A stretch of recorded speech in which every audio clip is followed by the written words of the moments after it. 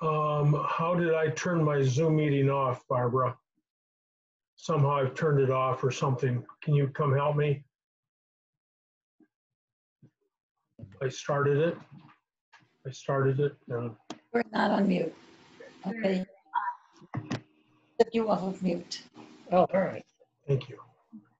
Hold on, no, it's not. Yep, there you go. Okay, thank you. So anything else I can do?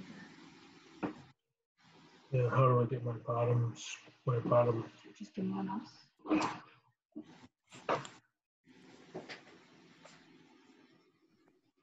Can-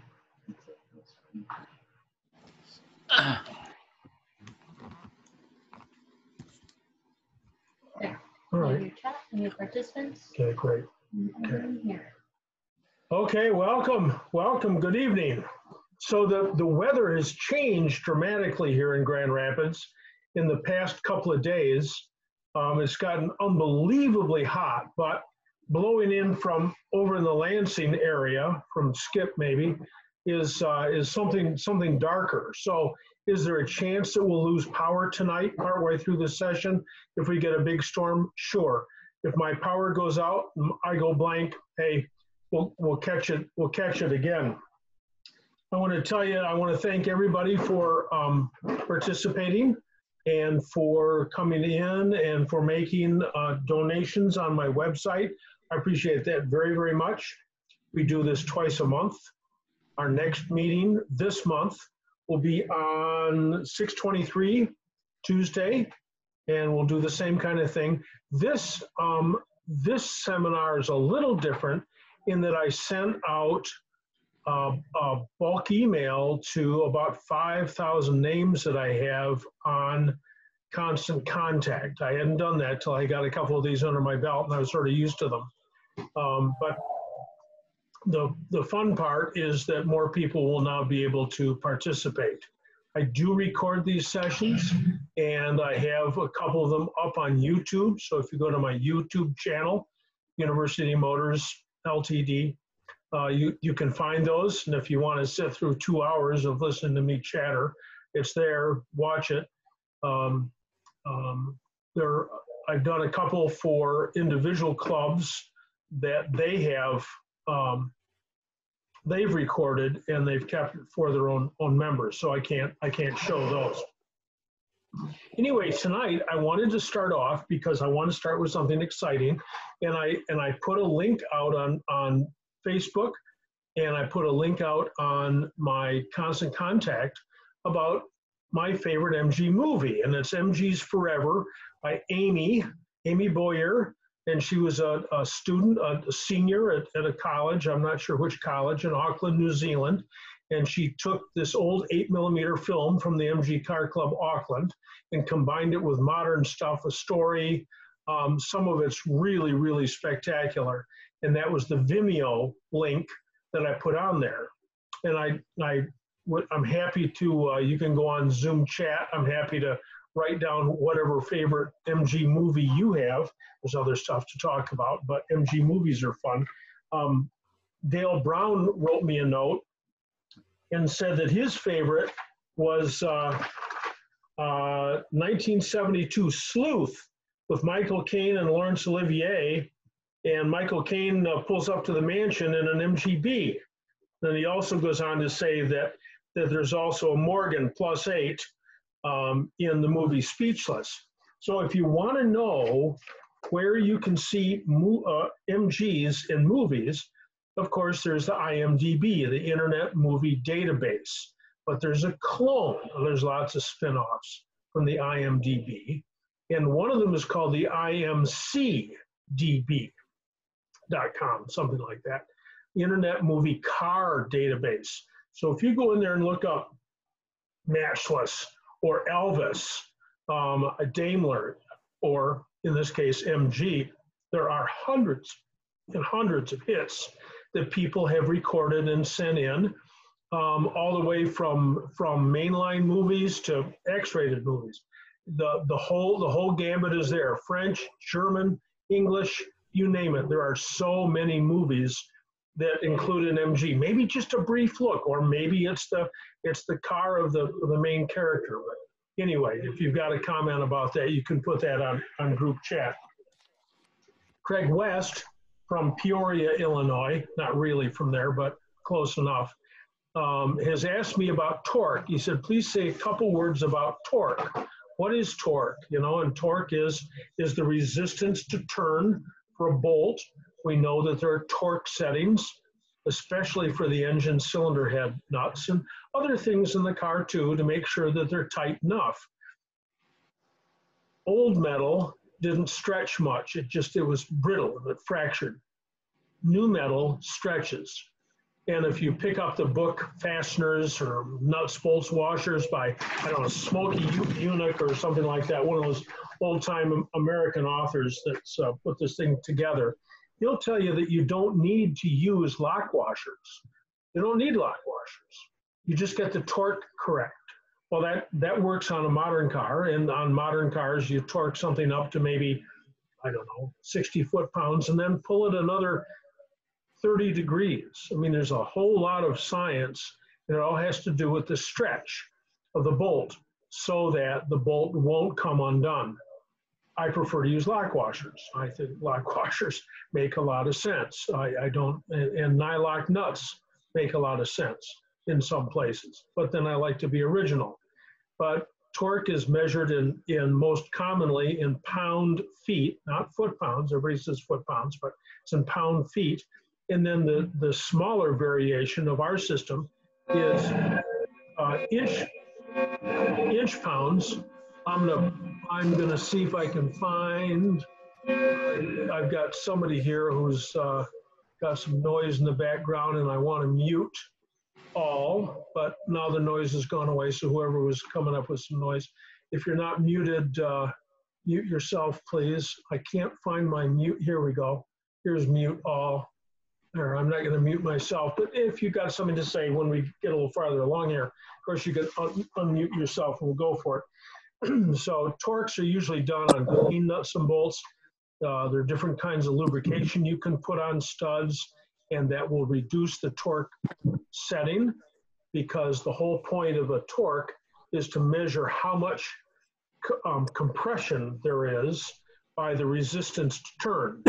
And if the resistance to turn is, is um, mixed up with lubrication, then you're going to need less resistance to turn compress something, say, for instance, the cylinder head gasket. So there's, there are torque settings for grades of bolts, grade two, five, eight, um, you can go on a chart. There's lots of charts available, and you can say, well, a grade five, a 20, you know, a 5 16ths 24 grade uh, grade five bolt uh, should take a maximum torque of I don't know 22 pounds or 25 pounds or something. There are special bolts that are hardened that take higher, um, but you can also go into your workshop manual and there's a lot of information in there. Generally speaking, when you're tightening up any nut or bolt on the car, you tighten it up and it, just there's no resistance to turn you're tightening it and all of a sudden all of a sudden the torque just takes off because it's all, all the way tight and i i mean i've been doing this for a long time but i i go to i go to wrist tightness or or um, elbow tightness i know that doesn't sound very exacting but over a period of time you get used to it if you have any questions at all, get out a torque wrench. Click torques are the easiest. You pull them, they click. They're just great. Click torque wrenches. So anyway, that's that's from Craig West. Let me uh, let me say uh, something here from Jim Pastor. You know, there's been no car shows, obviously, you know, all season long. And Jim Pastor has a, a car show in Altoona, Pennsylvania. Altoona. So it's centrally located. It's also home of the Boyer Candy Company, and you can go to the Boyer Candy Company and buy a, a box of Mallow cups. I mean, a carton. It's a real deal. Um, anyway, they have a really nice car show. It, it usually attracts about 100 cars. This year it'll probably be bigger because there haven't been any other car shows. It's the weekend before Labor Day. I can't tell you what, what the date is, but uh, real late August and it's the uh, Central Central Pennsylvania British Car Fest. if you want to, if you're interested, if you live PA, Northern Maryland, um, New York State, they have people come from. Jim says, "Yeah, we got a guy coming from Indiana." Yeah, Indiana, Pennsylvania. Um, but they've had people drive all the way from Atlanta, so it's it's a real show. So Jim just wanted me to say something about that. He also runs a a, uh, a technical seminar in uh, concurrently with that, or a couple of days before that, and he still has a couple of spots. So I I come out and do that. Um, I come out and and do the do the technical seminar. We do it in his shop. It's always a lot of fun about 20, 25 guys. I don't know what we're doing this year. I don't remember if we've decided, but it's, it's, hey, it's just, it's just entertainment. It's fun. You know, you, you learn something. Before I get a little bit uh, farther along here, Reinout Vogt and his wife Henneke, who used to be in the greater Chicago area after they moved here from the Netherlands, the real MG enthusiasts, uh, have moved to Atlanta. And and uh, Reinout, I followed up on my offer to answer questions online, and he's trying to bleed the brakes on his 1600 MGA. They put new wheel cylinders in back, um, bled them all out, air's all out of the system, adjusted them up, adjust the mask and the adjuster of T-type and the MGA is real early bug eye sprites. Got a mask and adjuster, adjust it all the way up, hit the pedal, it's almost on the floor, second bump, it's right up. What is going on? So you just have to go out and, and drive the car right now. Just go out and drive the car around the block, make the brakes smoke, bed them in. That's what we used to call them. That's uh, get them hot, get them shaken up, come back. You'll get a couple more clicks out of each mask and adjuster, and the brake pedal ought to be just great. So I think it's just that. It's not. It's not. Um, a problem with uh, air in the system or anything. What he did do, what Reinout did do, it's a real good um, uh, technique, is to take a pair of vice grips and sounds horrible. Squeeze the, the rubber line in the back and then hit the pedal, and this pedals rock hard. So obviously the problem, this all this extra movement, is at the rear of the car in the rear axle. So that's that's how you can determine where the problem is in the car which he has, and it's the rear brakes. You just got to go out and drive it, drive it, heat them up, take care of them. Let me get another one here. Um, this is from Fred Moore. Um, and I, you know, I, I made a, I made a pitch in here about about uh, get some friends to, together and pay my travel expenses, and I'm happy to come to your shop or your you know your locality and and bring my tools and everything and have a couple days. I don't I, do not want to change a clutch, don't want to, don't want to do brakes, but like simple electrics and, and getting stuff sorted out, um, it'd be lots of fun. So you can get in touch with me. I'm, I'm, I'm happy to do that. And I'm happy to come out to your club if your club wants to have an event. Um, so, but there's travel expenses and a, and a daily rate stuff like that. But you know, here I am, and I'm I'm I've got one big project left in my shop. I got my MGA on the road. Oh my gosh, thank you. After two and a half years, I thought it was only off the road for a year. I went to renew my plates. Can't do that. We're in the state of Michigan. Secretary of State's closed down, but the governor. Um, the governor has told the state, all the police departments that they cannot ticket you for having an expired registration even though mine's two and a half years expired. But finally, I got my MGA. I've got a 62 MGA 1600 Mark II Deluxe that I bought in, in spring of 1976. I've driven who knows how many. I looked at the clock today, it's 8,300 miles on it, and I thought, what, 283 or 308, who knows? Lots of miles on, on that car. But I just got done putting in pistons and a brake master cylinder, and I reworked the seat belt, so those are nice front coil springs and I had the wheels re-rimmed. Oh boy, so and it loves to fly. I've got a camshaft in it from uh, David Anton, APT hyphen Fast Advanced Performance Technology. He makes really good cams. I bought this from Forrest. I turned my business over to Forrest Johnson. He's renamed it the Rusty Moose Garage. And anyway, Forrest had this cam in his MGA, hated it, and I can see why, because around town, it sounds feels like you can't tune your own car. But out on the road, you hit 60 miles an hour, and that thing just wants to fly. It's so much fun up at, at those high speeds. Let me take a look at the chats here and see what uh, what's going on here. Diamonds in the rough. Two ki- two kids rebuilding a TC uh, to rally to get to crosswise the jewel thieves. Oh, lots of classic in, in um, classic English cars. Diamonds in the rough. But again, you can go to that um, Internet Movie Car database and find this stuff. Here's Bart from the Netherlands. It's 2:05 a.m. there. Well, it's probably later. I've been chatting for a while. Hey, he's got a um, he's got a 77 MGB with a, Lu- a original Lucas uh, amplified ignition. Leave it or replace it. It must be that it's got the black box underneath the coil the earlier sy- system um, had, excuse me, had a electronic unit right with the distributor. Those have all failed. Those are all done. And that had a, a green, green. Are, are you on now, Bart? Did you unmute yourself? You can. Yes, I'm here. Hi, hi. Yeah. Okay. So your your ignition, you've got a, a black box underneath the coil. Do you think? Yes, I have. Okay, I that's fine. Yes. It's a great system. Just leave it. But Oh, okay. remember that all electronics fail. It's not a Well, that's question of. I mean, it, you know, points go bad too, but they give you, they Mhm. usually give you some warning.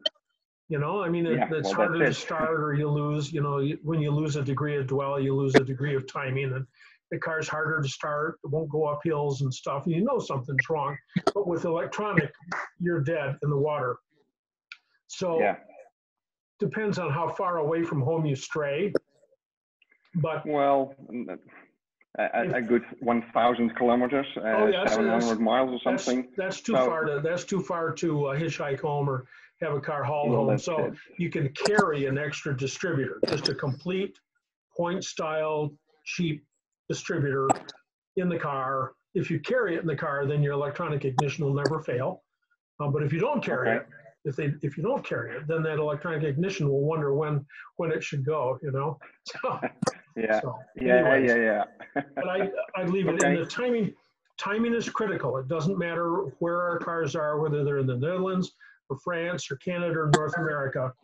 All of our cars, 19, 1945 through 1980, not the twin cams, are timed at 32 degrees before top dead center at full mechanical advance, vacuum disconnected.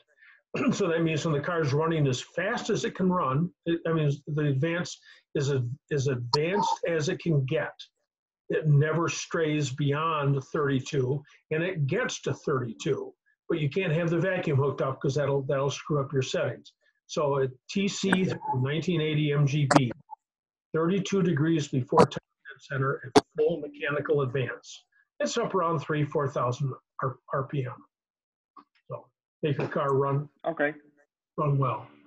Okay, whoops, now Bobby, Bobby Galvez has changed the name of the movie now. Now it's Diamonds on Wheels, but anyway.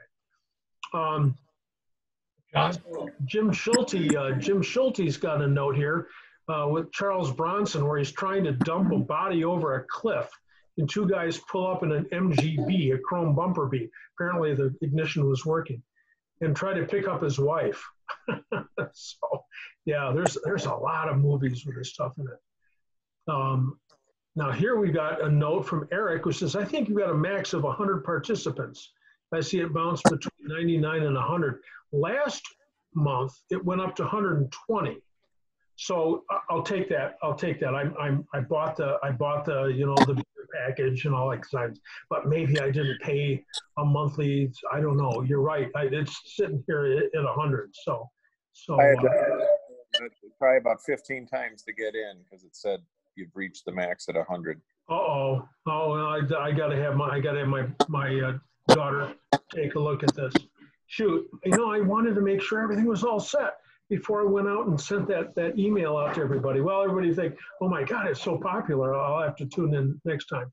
Larry Sears, Sears, can I post a question here? Absolutely.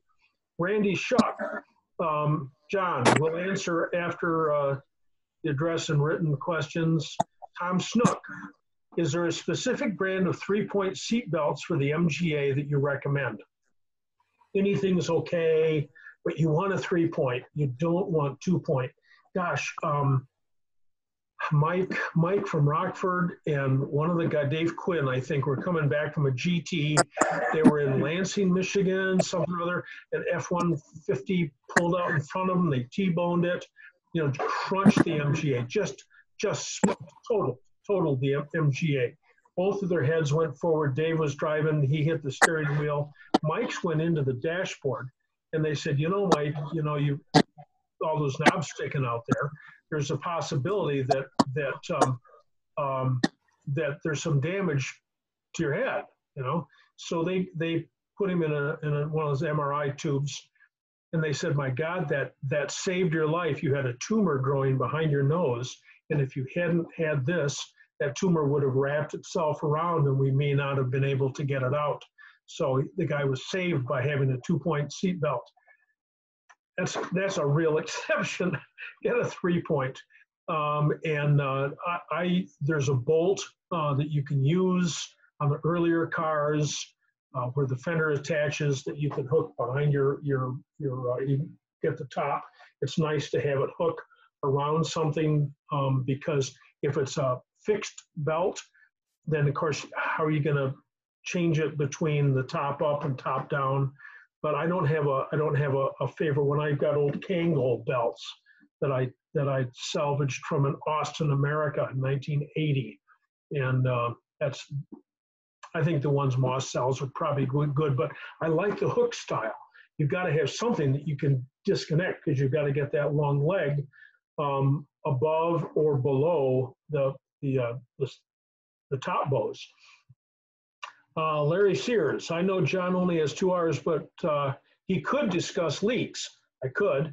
I rebuilt my MGA, but I seem to have both engine and gearbox leaks. Of course. Talk to anybody else here. Um, so anyway, we'll we'll talk we'll talk about leaks. Uh, let me go on just a little bit farther though, because that's that's a that's a uh, oily subject. Um, does anyone, here's, here's David Wren. Does anyone know where I can get an early B uh, MGB door handle pulls or door skins? And David's in New Zealand, where it's either very much later or very much earlier than it is here. So there's a guy in Arvada, Colorado um, at Sports Car Craftsman. His name is Paul Deershaw. You don't have to know how to spell his last name, it's Paul and he sports car craftsman c-r-a-f-t-s-m-e-n in denver colorado. And he's got a breaking yard and he's got a couple hundred mgas excuse me a couple hundred mgs and if he has the part he will send it to you today or tomorrow you won't screw around. It's you don't call him three weeks later and say dude you know like where's my door handle? And he goes oh well my you know my dog got sick and i couldn't find a box to send it. He'll he, he'll send it immediately. Plus he lived in australia. Um, i know that's not your country but uh, he lived in australia for five years maybe. So he's got a lot of connections down there. So maybe he can find somebody um, closer to you uh, in sydney or uh, you know perth i mean although perth's about as far from you as we are i think um, anyway paul deershaw sports car craftsman arvada colorado he's the greatest guy in the world for used parts he really is. I, I just can't say enough about him, obviously. And he doesn't pay me for making uh, these these things. Let's see. Um, Brad Thurlow says, I'm curious exactly which cam you got from APT. Um, I think it's the VP12 or 13. It's a real radical one. It's like a 290 can't, It's just too much. It's just too much for for driving around town and stuff, you know. But I just drive it on the expressway. I just love going fast. So it's um, uh, contact me later on on email and I'll I'll see if if if I can find. So um, Tom Snook is yeah just uh, yep um, for the MGA. Peter Koreski in Virginia uh, said you stated in one of your last sessions that the 77B is a engine is a closed system. Yes, ELC, evaporative loss control, and PCV, positive crankcase ventilation. He says the previous owner installed an aluminum valve cover. He also installed a vent hose from the vapor canister to the valve cover with an 11 64th vent hole in the cover. I have a Weber carb with a hose going from the side covers to the carb to let the engine breathe. I formerly used a breather on the side of the engine, um, but I was getting oil all over the engine. What's happening now is that when I take the B for exercise, there's a small amount of oil on the top of my valve cover. What's causing this? Because the engine isn't breathing well. We know when, when the engine runs and you've got all that compression sitting on top of the piston, um, it's blowing down the side of the piston. That's called blow by. It's either a little tiny bit on a fresh engine or really bad on an old, old engine. That's the job the compression rings do. And you've got to get that, that those fumes out of the inside of the engine. Now, they used to have T-types, MGA, early MGB, early midgets, and what they called an oil draft tube. Used the Bernoulli effect. And the oil draft tube went down the side of the engine, and, and it's big around as your thumb. And, uh, you know, the engine had no problem at all venting. But then in 1964, California said, we've got to do something about the smog here in LA. So they put uh, PCV systems on it, um, positive crankcase ventilation systems. That's where that big round mushroom Smith's PCV valve comes from, 1964 through 1968. And then in 1969, they instead they got rid of the valve and plumbed the side cover directly into the carburetors. Now there's a draft that went through the oil filter, through the oil filter cap, and then through the engine and got drafted out into the carburetors and burned up.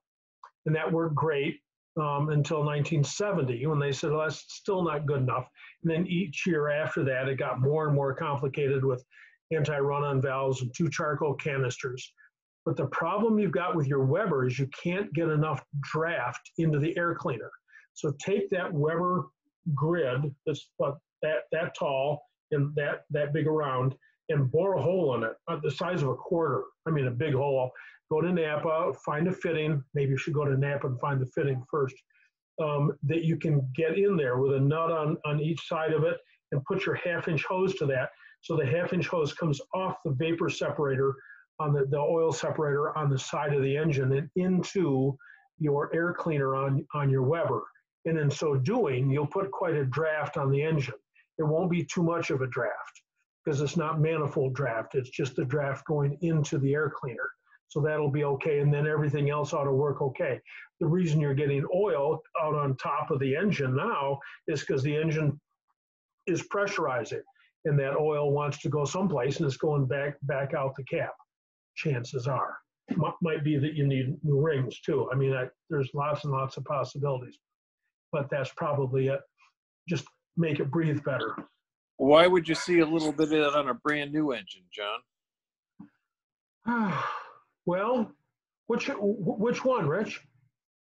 The 1600. I, I get it coming through the rivets underneath the little, you know, the the, the Yeah. copyright or Yeah. whatever you call. it.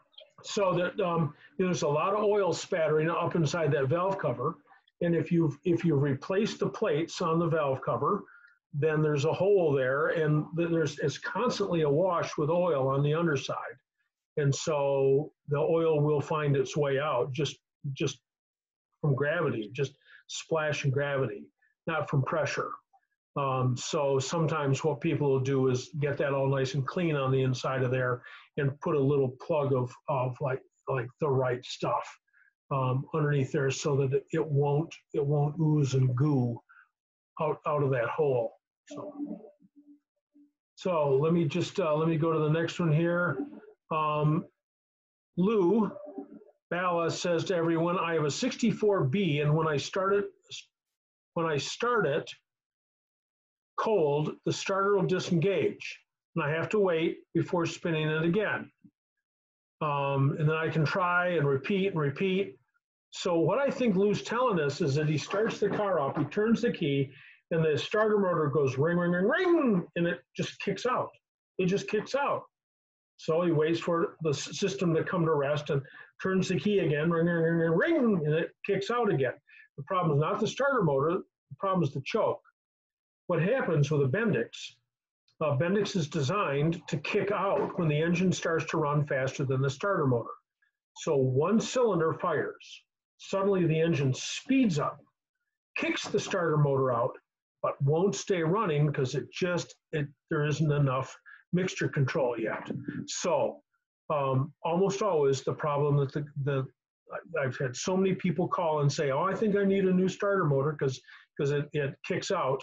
No, your, your jet should drop, the jets in the bottom of your carburetor on your 64B should drop at least a quarter of an inch. When you pull the choke out of the dash, um, go underneath there and look, and they'll they'll they'll move. They, if you move them down half an inch, it'll start in Antarctica. You know, so um, it, it has to do it has to do with the distance that you're dropping, the distance that you're dropping the jets. That's the problem, not the starter motor. I mean, these are all my opinions and armchair opinions at a thousand miles or whoa, winds, winds co- coming up here. Um, you know, these are all armchair opinions, but they're they're they're experienced. So here we've got from Vicki Smith with her 72 MGB, the idle light will not go out. That's the ignition warning light, the red light will not go out even when driving. So, so Vicki, are, are you there?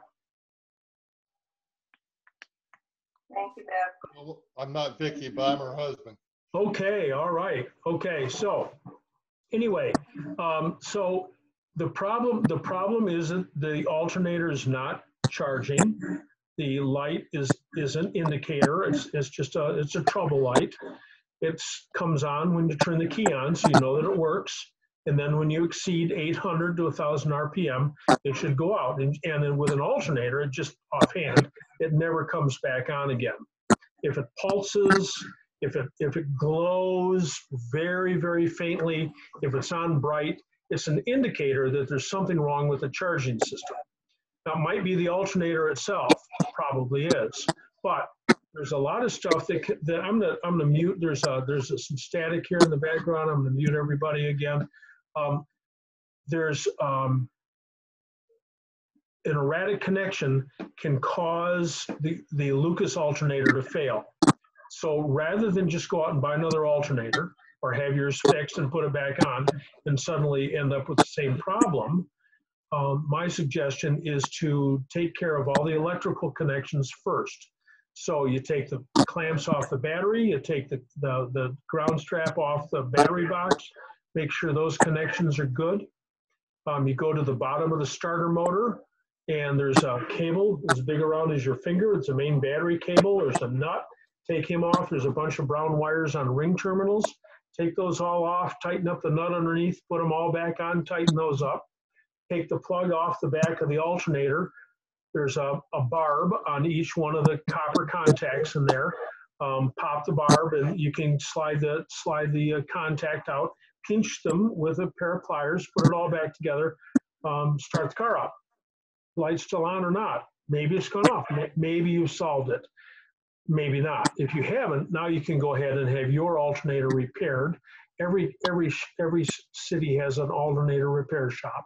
Those guys cut their teeth on Lucas stuff, and you get. a- I think personally, my gut is that you get a better job um, getting one rebuilt locally by somebody that's been in the trade, rather than buying one out, out of a box from Napa or anybody. You can buy new ones from Moss, no problem. Or aftermarket aftermarket ones you can buy. Put on Delco Remys or the the hot setup for a while was the um, oh was that General Motors car that all all the school teachers bought made in Te- Tennessee. Um, they had a 100 amp alternator, and all you do is take it apart and rotate the front cover 90 degree or 120 degrees. You ended up with an alternator fitting MGB perfectly, charge at 100 amps. Of course, that'll burn out your wiring if if if it wants to put out 100 amps. But there's a lot of other options. I I'm always a fan of staying as original as you can on as much stuff as you can. So anyway, take care of the electrical connections and then go for the problem with uh, um, with the alternator. Thank you, John. And Bill Barge, who's been in on every one of these, you're welcome. Bill Barge, I've seen, you've seen Bill on here and he said he had to try a couple of times because it said there's a max of 100. Damn it. I'll, I'll have to, I'll have to sort that out. And here, Randy Shuck says AccuSpark, A-C-C-U. Uh, Spark makes a very nice electronic distributor.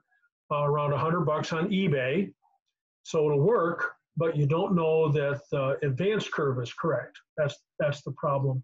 That's the problem there. Uh-oh, and Bart from the Netherlands says he had to sign off because it was uh, 1:20 a.m. there.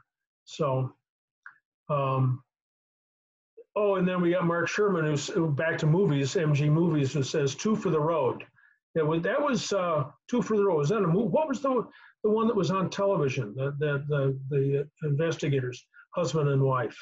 So, so anyway, from from uh, we have a 1500 midget shell and a 1275 midget. The question isn't posed, but it's apparent.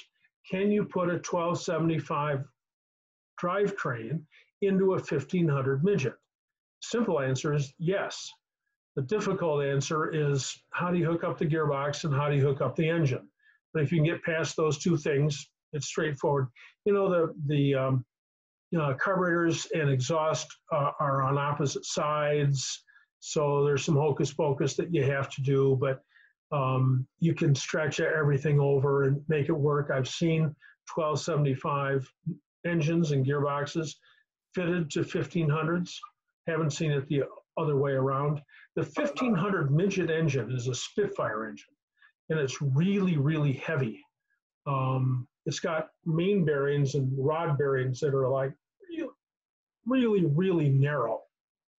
So they'll spin up really fast. And the, the uh, Spitfire engine doesn't have cam bearings. You just run the run the cam right in the cast iron block.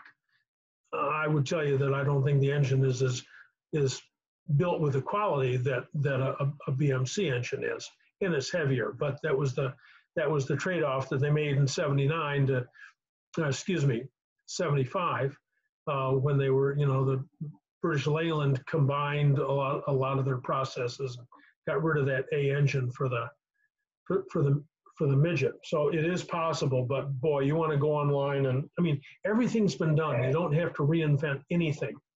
Um, somebody's already done this, and um, you, I'm sure on So, MG uh, experience. Yeah, go ahead.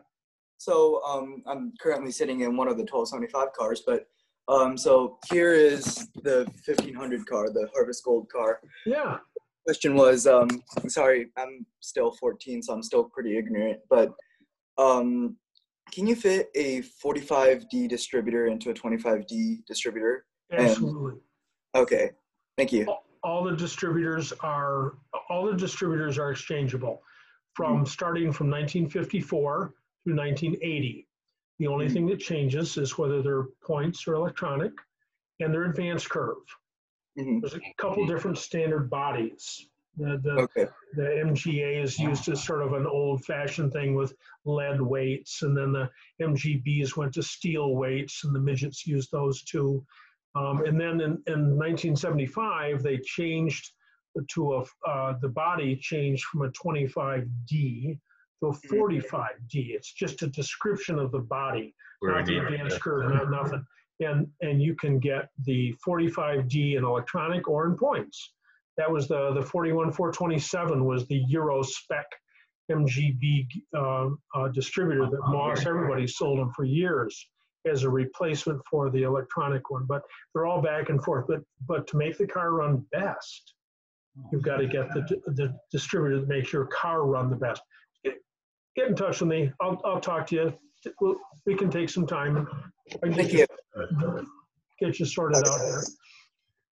All right, so here we've got John Mueller to everybody in The Gay Divorcee, where Fred Astaire chases Ginger Rogers. She's driving an Auburn and he's driving a J2. So, so chance, chances are, um, so we're, we're gonna, I'm gonna have a hard time uh, uh, getting through some of these. Uh, we got a lot of notes here on, on the side tonight. Hang on just a second. Where, where am I? Oh my gosh, I lost my position here. Um, so let's see, just just a second. Here we go. Um, um, I'm having a, I'm having. Oh, this is good from Joe, um, and he says he's having a TD uh, TD rebuilt, and it's going on a test stand, I guess tomorrow, sometime soon. So that's that's cool. Um, and let's see here. we- uh, me just see what's next. Adding a front sway bar to a TF. Chuck Linick.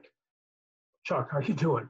Um, that's the single most important thing that you can do to any of our cars for handling is to put on the sway bar. Absolutely. It goes on pretty easily. It hangs down. It isn't up uh, up above the frame like it is on a B or like it should be on an A. But that's where they get mounted on, on T-types and they work just fine on the bottom of the dumb iron, excuse me, on the bottom of the dumb irons. And it, it just keeps that car from pitching, pitching and rolling in corners. I mean, it is just, it's heaven. It's just unbelievable how much improvement you get from so little work. Not that it's a little bit of work because you got to spring, change the spring pans and the front A arms and then drill the drill the dumb irons to accept it. But you know, it's it's it's straightforward, but it is most certainly a worthy addition. I got some more stuff that came in on on uh, um, uh, Ted Smith writes from from England that he's got a uh, he's got his dad's car that he, his dad all hotted up and put a Garrington head on it. And those things look neat those cross flow heads. But if you want to like change the the timing or change the oil filter I don't know how you do it. It's just too much stuff is jammed over there on the right hand side. And in England you got the steering jammed over there too. So oh my gosh. But he had a question about cooling fans and he's got one that that uh, is hand operated. And that's not a good idea. That you should either have a fan on the front of the engine if it'll take it, or have some sort of thermostatic control so the fan comes on by itself, so you don't have to operate it all the time. I told you earlier I, have been driving my MGA, and um, the the turn signal canister doesn't work great. You have to hold it, you know. And I'm thinking, boy, modern modern cars are so intuitive. They even know you're going to turn left. They probably turn the turn signals on for you by, by themselves. And the older you get, the more complicated it gets. Um, it, you go back to the pre-war cars, and, and, and you had a, a, switch on the dash because you had to keep watching your ammeter so you didn't undercharge or overcharge your battery. Um, but the um, the thermostat control on a on a, on a radiator. That's that's pretty important that, that that comes on by itself. Here I've got another guy that wonders when I'm going to uh, come to the UK to tune up their cars. I went a couple years ago. So here's Larry Smith from Richmond, Virginia, capital of the South. I purchased an overdrive transmission but have not yet installed it in the car. To test the solenoid, I removed it from the transmission, took off the top, and when I energize the solenoid, the, the plunger retracts nicely um, within the coil. But if I put the top back on the solenoid and do the same, the plunger doesn't move. Well, it does. It, it, it has to. Um, if, if it was working before and you assemble it up. But the, you know, the, on an overdrive solenoid, it moves so little. It only move, it only moves if the, the most an eighth of an inch. Earlier MGBs with a with a um, uh, solenoid on the side, great big clacky thing and a big lever that moves.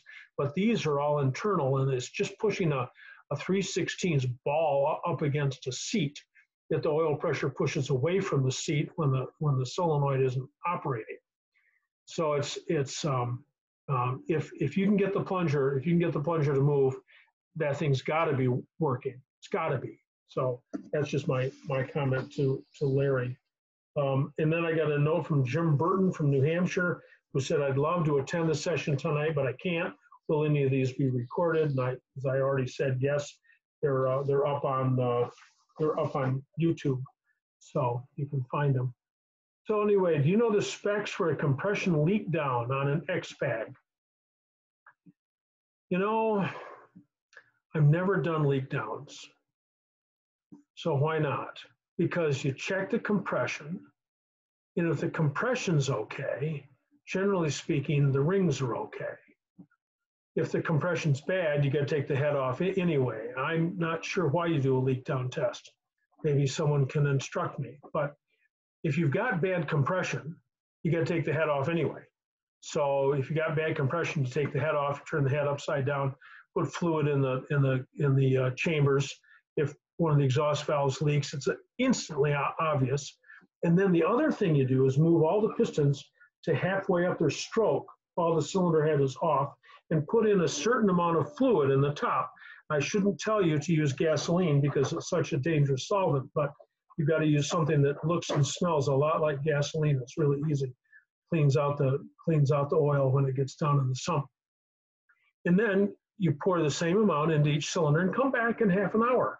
And if one of them's gone empty and the other ones are still full, duh, you know, something's wrong with the rings there.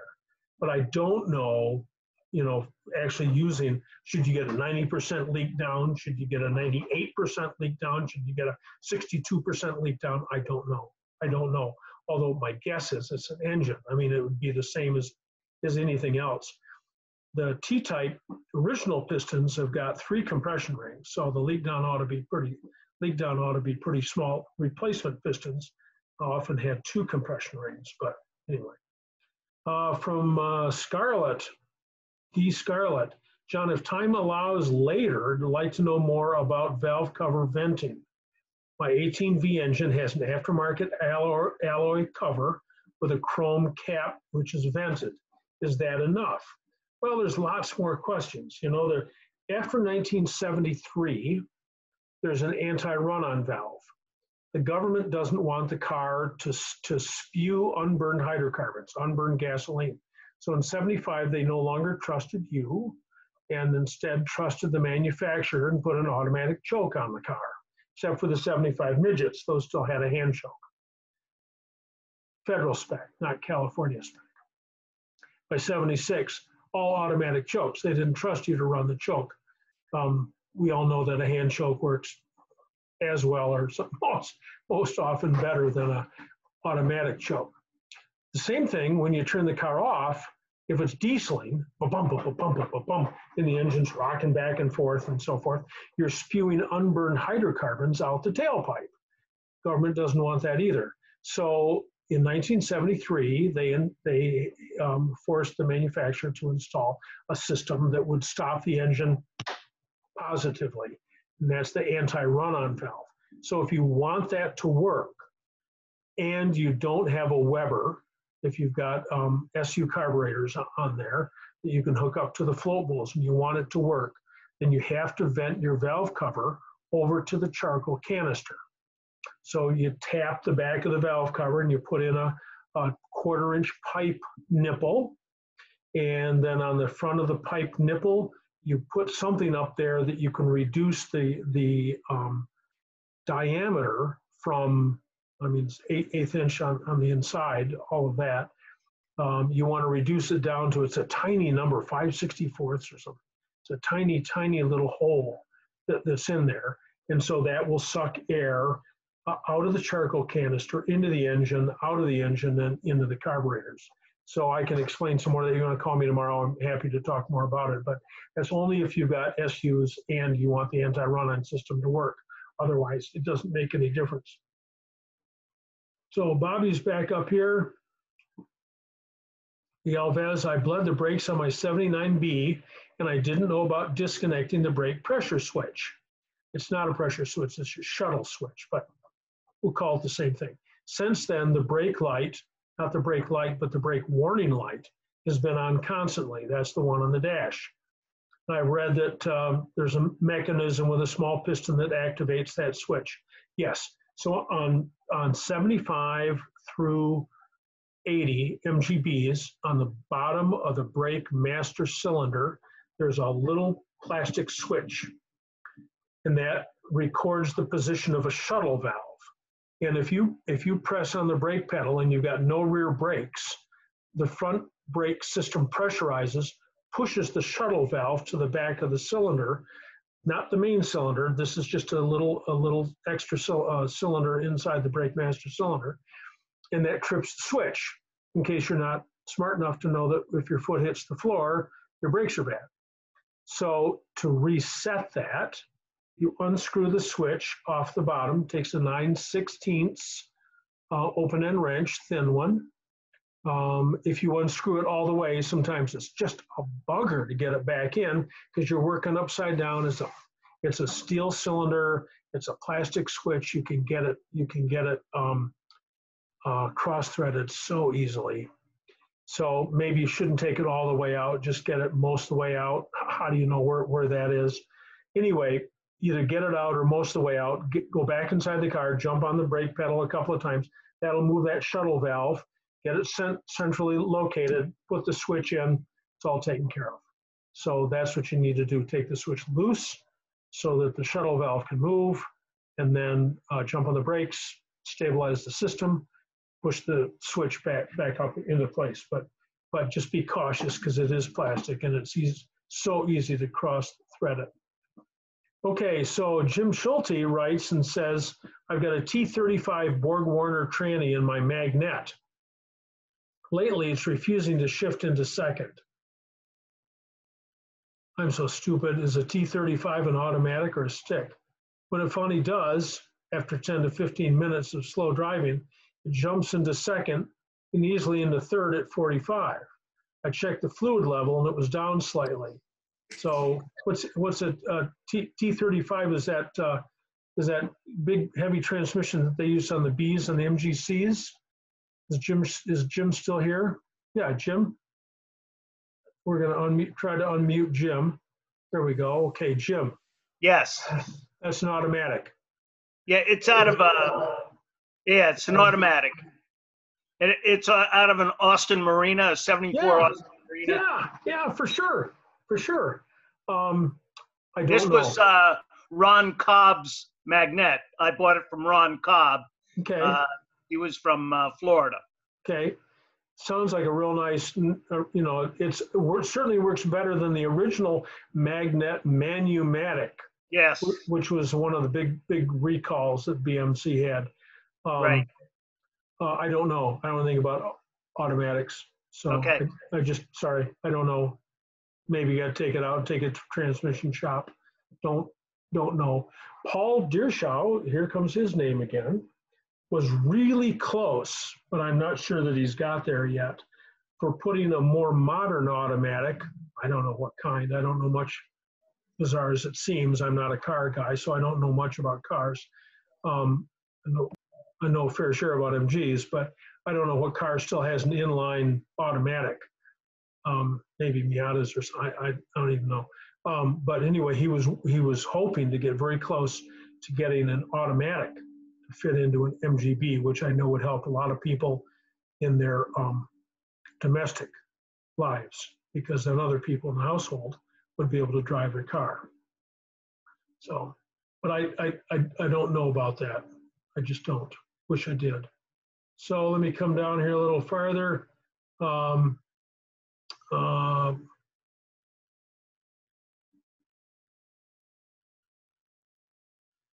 uh, Koday's got another one here. There was a video uh, from Spridget Mania about the correct rivets. I'm not sure which rivets we're talking. I was talking to uh, uh, about the valve cover. Um, so I'm not sure. Jim Perrell.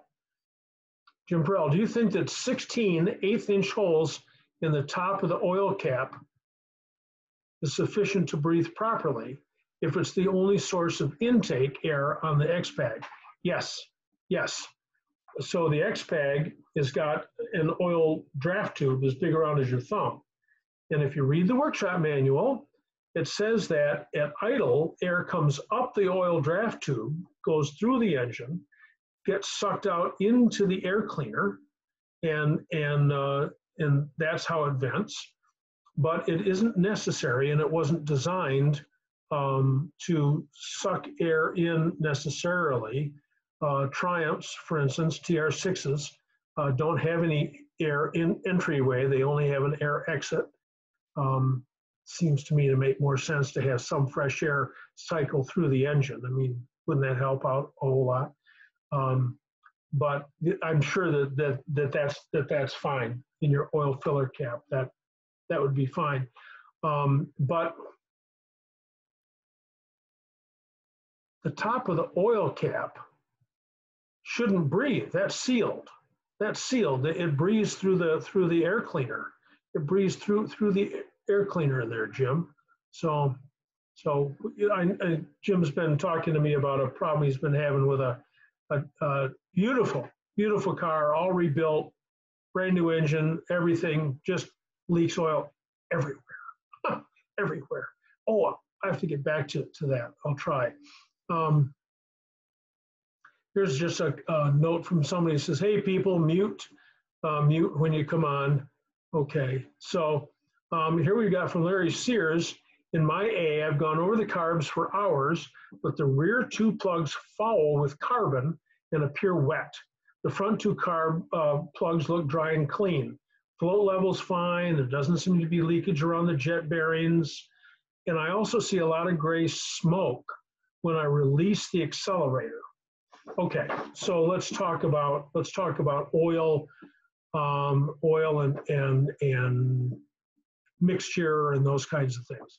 So if you have uh, if you have an oil consumption problem, it's either the oil's either coming up the rings. Doesn't matter how good the compression is. You get, your con- compression can be perfect, and you got no oil rings. You're going to burn all kinds of oil. So com- compression rings and compression have nothing to do with oil oil consumption. Well, it does. Once the once the compression rings get bad, you usually use a, a lot more oil. But um, so the oil can come up the rings, or the oil can come down the valve guides between the between the valve guide and the valve stem. You've got the you got the valves working inside there. And for the longest time, we thought those phosphor bronze valve guides were critical to a, a, good running engine because we'd lost the lead in 1975 and everybody drifted away from the old cast iron um, valve guides. Mistake, as it turns out.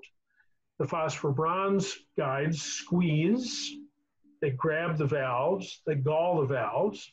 So instead of having a half inch clearance between the valve guide and, and the valve stem, instead of having half a thousandths, you have to increase it to two thousandths so the valve guide won't grab the valve itself. So now you get to fit umbrella oil seals. So it gets a lot more complicated. Use cast iron guides in the future when you're going to have your cylinder head redone. Use cast iron guides. They're just fine. There's no problem at all. It was a, a mistake that was made early on or a, a misinterpretation of data, something or other. Use cast iron guides and use that half inch clearance and it'll be just fine. But you can use umbrella oil seals. Now in an MGA and an MGB, the FELPRO, F-E-L-P-R-O, part number is 70373. One of those numbers I happen to remember, 70373. Forget it, uh, call me tomorrow, I'll tell you. And you, install those on the inlet valves. You don't need them on the exhaust valves because there's always pressure blowing, blowing stuff up out of there. But if you take your foot off the gas and then put your foot back down and you get a big burst of, of smoke out the tailpipe, that's because as you let the, let the, the throttle off, the intake manifold vacuum dramatically increases, sucks oil down the oil guide, it pools and puddles, and then you hit the throttle and oh my gosh, it's just a, a huge cloud of smoke. Hardly ever does that happen. Yeah, the engine So- was uh, rebuilt. What's that? The engine was just rebuilt, but Okay, all right. So, so why are the rear two plugs wet? It's um, it could it could be that that the oil rings didn't seat. Could be, but what's the chance of those two right next to each other? Anything's possible. So that's certainly a possibility. But I'd put mo- more on the carburetor. It's real easy to have that brass shaft underneath the carburetor to stick and I mean, that thread on the on the on the bottom of the carburetor um, for to adjust the nut, that's a British Standard brass thread, 26 threads per inch. So you've got approximately 25, 40, excuse me, approximately 40 full turns to move an inch. And if you back that off into flats, six flats per turn, that's six or seven thousandths of an inch per flat isn't much, isn't much. And if your jet happens to be sticking down because, because why? I don't know, because there's a mechanical linkage, that the top jet bearing isn't in line with the bottom and the jet's sticking, something, something. Um, and that jet is stuck down just the tiniest amount, tiniest amount, it'll run so rich. It'll run so rich. So just pull the choke out, push it back in and reach underneath the carburetors. That's easy on an A. And push up on the jet.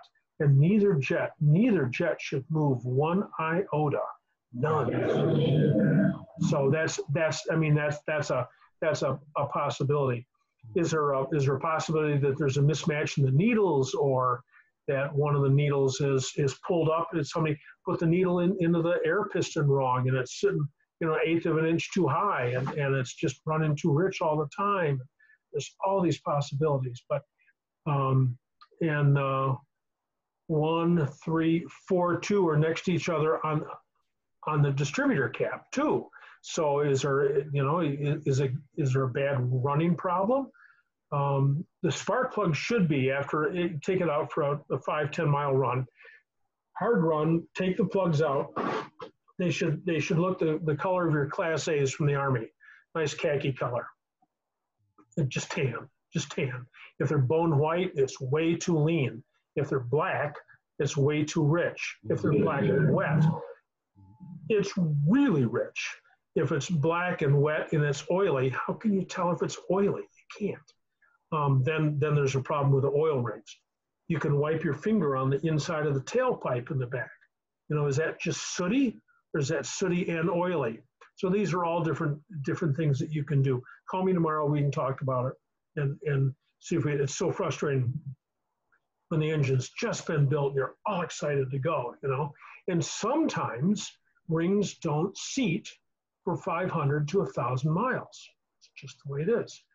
And we we found right at the end of the time that I had the shop um, that a lot of the rings that were supplied with the pistons were not satisfactory. Oh boy, you know, not your fault, not the engine builder's fault, but you know, a nice a nice compression ring, you take it and you should be able to just snap it. They're so hard, they're so brittle. Um, but we had some where you could bend the rings, bend them. It's just like, oh my gosh. So anyway, those are those are all all possibilities. So it might be ignition, but oh boy, that's pretty weird. It might be the it might be the rear carburetor. It might be their oil rings, but why next to each other? So I understand your your confusion. So and I'm not sure about the smoke when you release the throttle. You release it and then hit it again. I get the smoke on that. I, I, I understand that, but anyway, so um, all right, so let me go to the next one. I'm, I'm going to go to another printed one here. I got a couple more. Um, uh, Ray Costa uh, is from Iowa. Where's Ray from? And and we did his engine a couple years ago, um, and uh, and now he thinks it's running too hot. Uh, and the question is, how hot should the engine run? And that should be 88, 90 C Celsius or 100, 190 degrees Fahrenheit. That's a wonderful temperature for the engine to run. Um, how can you tell how hot it's running on a T-type? You know, on a on a TC or a TD, you got it. You got your fitting that goes in the radiator. You can tell how hot the radiator is. The radiator is always cooler than the engine, um, but it isn't really the engine temp. If you get a, a, a gun, you know, an infrared gun, and shoot the engine here and there and every place, you can find a hot spot instantly if there's a problem with, with the cooling. But Ray was talking, there's some little tiny air bleed holes on the inside of a T-type engine that can cause air bubbles to, to be created. And, and uh, then you don't get full, full circulation. But Ray's got a couple years on the engine. Chances are those, those aren't making a, a big difference. But like everybody else, Ray, you can call me tomorrow too. So here's Mike Wester, who's uh, down in uh, down by uh, um, Columbus, Ohio, and he's putting uh, an MGB five main engine.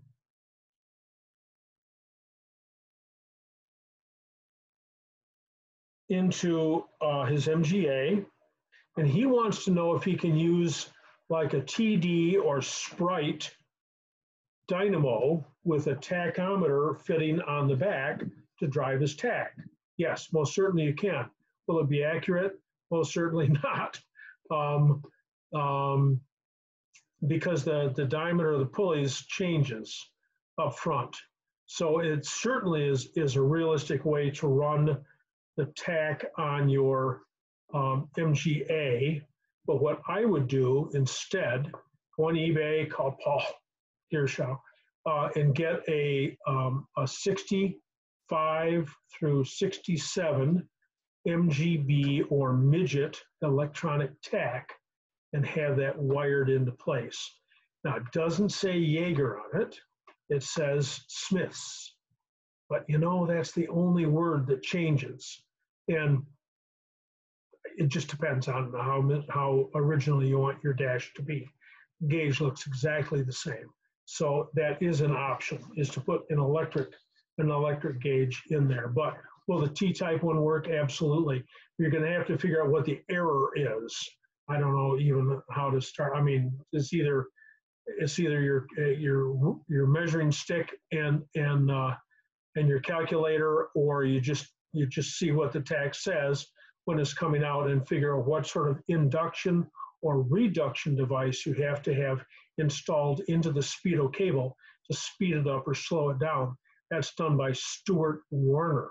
They have gauges that go all, or uh, the little devices that'll go all the way from like 0.1% up to a thousand percent. They'll do, they've got 16 little tiny gears inside there. And you can get any combination you want. If, if you, if your, if your tach is running at 1300 and it's supposed to be running at 1500, they can give you 15 over 13 uh, as a, as a ratio and your tach will read correctly. So, and also call Peter, call Peter at, uh, um, Instruments in Mamaroneck, New, New York. Peter does a really good job with, with all that stuff, and I think that that he'll have some answers for you too. So maybe he can put electronic guts inside yours. I don't know. So here I got I got Bobby. I got your your note. I did print it out, but I see that you you put it in in here. So okay, so here we go from Harry's iPhone from Gibson. I have a 73B. A previous owner cut the wires to the alternator just a few inches from the alternator. DPOs, that's what they're called on MG Experience, right? Um, how do I fix that? Well, you fix it with solder. You can make the wires as long as you want, no problem. You can get spade terminals. You can make individual spade connections on the back of your 73B. Um, and, but you've got to solder the wires together. Solder them, not twist ties, solder because those Lucas alternators do not like high resistance or erratic connections. A pop. We already had one comment in here earlier uh, from the guy who's using his wife's account. Um, and and uh, the, with an ignition light glowing. So there's no point in wrecking your alternator if it's not wrecked yet. Um, so just extend the wires and and um, uh, from the outside of the alternator to the inside are three spades. And most of them go narrow, wide, wide. The later cars go narrow, extra wide, narrow. In both cases, the outermost lug on the alternator is, is the brown with yellow wire, which goes up to the ignition warning light. That's the indicator lead. The center in all of these is your charging wire that's got to be a big, heavy, heavy brown wire, so it'll carry the current. The spade on the inside, if it's used inside the alternator, and you just don't know until you take it apart, but let's just assume it is, is, is yet another wire which goes down to the starter solenoid. It's not charging, it's a sensing lead so that the alternator charges at the correct voltage, uh, 14, point, 14 volts um, during during operation. So uh, just solder those wires on. That's that's what's so important. So now we have John Leone um, with a 54 TF. I have excessive smoke from the exhaust and found my chamber piston needle was set too high. Okay, I hazarded upon that. He said he lowered it and, and it resolved the problem. However, when I connected the front spring lever, it starts to smoke again.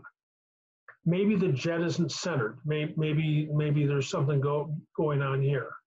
Um, but because getting the jet centered in the earlier carburetors, that's all the carburetors 1971 and earlier with, excuse me, 68 and earlier with fixed needles. Getting the getting the needle right in the center of the jet that is so critical. The top of the, the jet is 90 thousandths.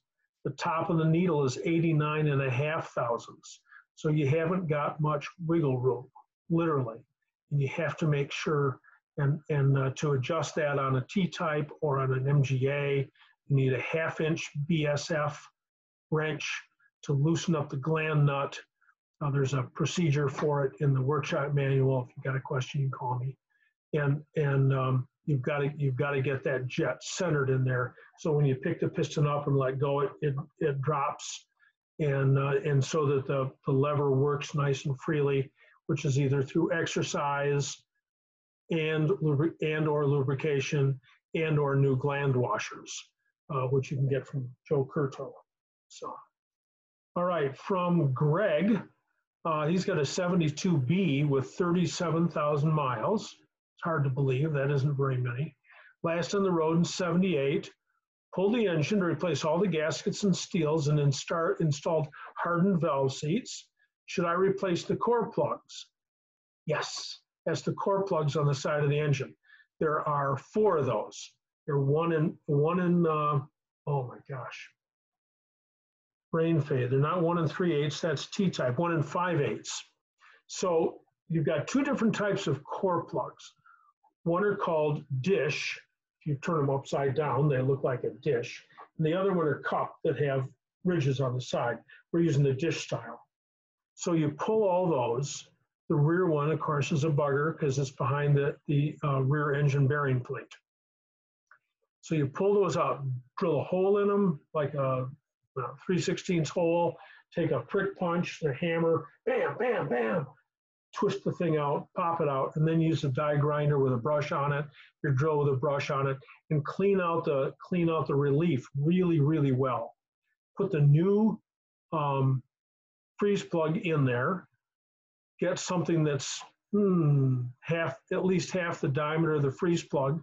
Your socket extension works well. Mr. Stanley doesn't want you to use your socket extension and a hammer to flatten out freeze plugs, but I can assure you it works great. And, and just flatten out the plugs, flatten out the plugs. Um, if you hit them too hard, they, they, they dimple and then they, they, the outer circumference ends up contracting again. So you don't want to go past, past horizontal. You just want to bring them down. And then, this is the trick, mix up JB Weld. I sound like Paul Harvey here up JB Weld and smear it on the outside of the, of the freeze plug against the block. I just put up a YouTube, YouTube video about that from Texas in October. So smear it around there. It's easier if the engine's on its side because that this is real, real runny plastic. It'll move. Um, but but let that set up. You paint it afterwards. You don't even see it. Don't even see it, and that will keep the plug from popping out. Because let me tell you, this is so horrible. You're going down the road and all of a sudden, pop, you get a one in five eighths hole in the side of your engine and all the coolant runs out. I mean, you can't, no matter how many times you walk to the nearest stream, you can't fill it up. You can't put a rag in there and hope it's going to, it just, you're off the road. So don't let that happen. Use JB Weld after the freeze plug is, has been installed. So T-types, you can get um, brass brass plugs that, that don't rust. Here we go. Here Bobby Galvez is, is put back in here, and it's the uh, McMillan and wife. We had the TD with Rock, Rock Hudson and Susan St. James. That was on t- TV. So, so Gary, Gary's asking me, how do we know if your kingpins are bad, MGA or MGC? Um, so, jack the front of the car up, grab the wheel, at grab the wheel at 12 o'clock and 6 o'clock and move the wheel, you know, in and out. move, move it back and forth. It wiggles. What's wiggling? Wire wheel against the hub, um, hub against the stub axle, the stub axle against the kingpin.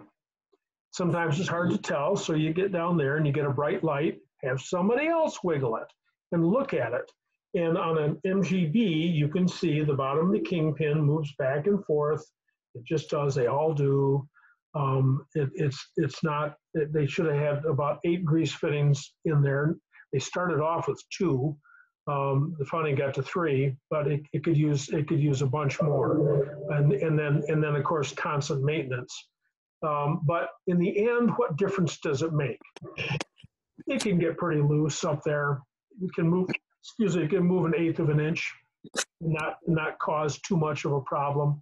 I mean that that re- I mean practically, you want your car to handle perfectly and everything, yeah, you got to buy kingpins. You can you can buy the kingpin kit.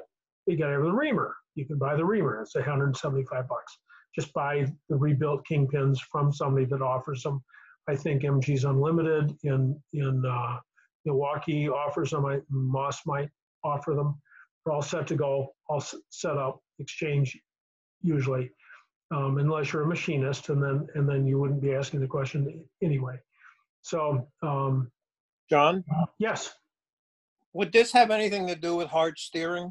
no, Oh, no. So um, so steering, if your steering is hard, in other words, it's hard to turn the wheel, hard to turn the wheel, or when you're uh, at speed, and at speed I mean 45 miles an hour, and turn the wheel and let go of the wheel, it should snap right back straight.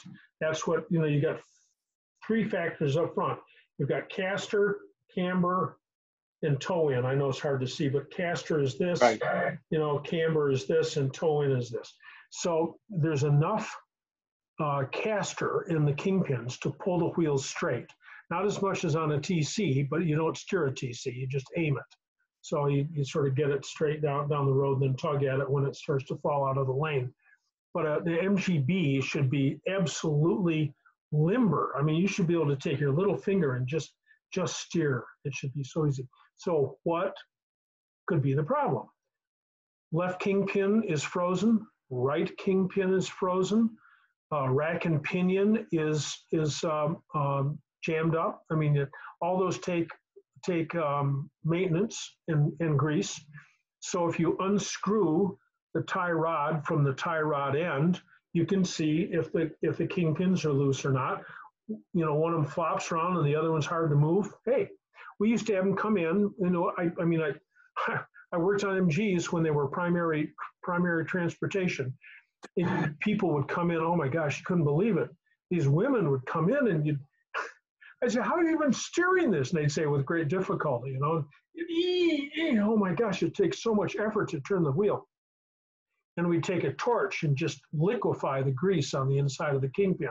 Just heat it up and keep pumping grease into it, and it'd get all nice and free, and the and the steering would go free again.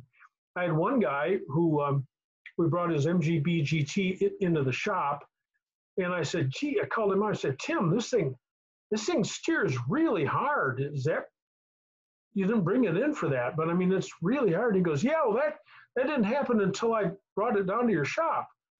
And I said, "Well, where'd you hook the chain when you pulled it?" He goes, "Around that tube in the front." So he hooked it on the rack and pinion and bent, you know, bent the rack and pinion so that uh, the rack and pinion hardly ever bends by itself, but um, the rack and pinion requires lubrication. And then on the earlier cars, um, like a real early B, then you've also got column bushings, and those those can get stiff, or a combination of, of all those. So chances are it's tight kingpins or a rack and pinion that needs to be serviced. Usually you don't have to buy a new rack. You just open it up, got a YouTube video about it, push oil, oil into it. It's a fun, nasty job with a 90 weight gear oil splashing everywhere. You know, you'll have great time doing it and it'll it'll steer more easily for it afterwards. There's other stuff too. The tie rod ends can go bad. The inner tie rod ends can can freeze up, but those are that's pretty bizarre stuff. So if you've got great big tires, you know, like great big monster, you know, 215 tires on the front of the car, yeah, you're going to need Hercules inside there to, to, to turn the wheel. Although, when you're going down the road, it should snap right right back again. Um, but the um, the more caster you have, the more the car actually moves up and down as you turn the steering wheel. Turn the wheel, and the car actually moves up and down as you go through through the center, and that's that's the resistance to turn is lifting the car. Some people opt to buy the D um, ca- uh, caster. They, you buy the caster shims, and then steering's easier, but then the steering doesn't return to straight either so easily. So the car is pretty well designed the, the way that it is. I'm off off topic here. So Diamonds on Wheels is on YouTube for free. I'm watching it on my other computer. So okay. Um, Sandy and Jim say big thanks to Kodai for lowering the average age of the Zoom attendees. Yeah, hey, thanks. Thanks. Nice to hear. Okay, here we got Jim Holmes from Cedar Rapids. Did you see the article in the recent MGB driver about the distributor with the additional advance for the supercharged MGB? And if so, what's that all about? That's probably Rob Medinsky's distributor from British Vacuum Unit in, uh, he's in Connecticut, is that right? New Hampshire, someplace upper New York State. Um, he's been, it, there's two distributor guys in the United States that do a great job. One's Jeff Schlemmer in Minneapolis, and the other one is Rob Medinsky at British Vacuum Unit. Um, uh, Schlemmer's outfit is he's his name is uh, Advanced Distributors. So um, both these guys do a real great job. But Rob has got has got some interesting stuff. He's got a he's got a distributor that that's supposed to work better for the for the supercharger, and he also is a firm believer in ported vacuum. 1972, all the cars went to manifold vacuum because vacuum is the easiest way to control emissions. So they went to they went to manifold vacuum, and um, Rob is convinced the cars run better like they did in 1967. That's as powerfully as the MGB engine ran with a 40, 40897 distributor in it, and that takes that takes ported vacuum, not manifold vacuum. Problem is, there's no tit on the on the carburetor to pick up the ported vacuum. So he's made himself a jig, and if you send your your carburetor to him, he'll put it in his little jig and drill a hole and put a fitting in the top, and now you can run an old-fashioned proper distributor. Remember when you're getting your distributors rebuilt to ask to get the distributor that makes your car run the best. If it's a 73, you can put a 73 distributor back into it, but remember that that's basically detuned so that it, it, it puts out a certain amount of pollutants at certain times. So um, the best distributor is the 40897. It was used from 63 through 67. Car runs the best with that one, absolutely. So anyway, um, that's what that supercharged MG is all about. If there's oil on the garage floor, how can I tell if it's coming from the gearbox or the oil pan? Okay, well let's let's talk some more about about oil leaks because we, we we've had some questions and of course it's the big joke, but it's the truth. So if you want to find an oil leak, go to Napa, and they have an oil they have a dye that you can put in your oil. It comes under a Balkamp, B-A-L-K-A-M-P, part number. I don't know what that, that is.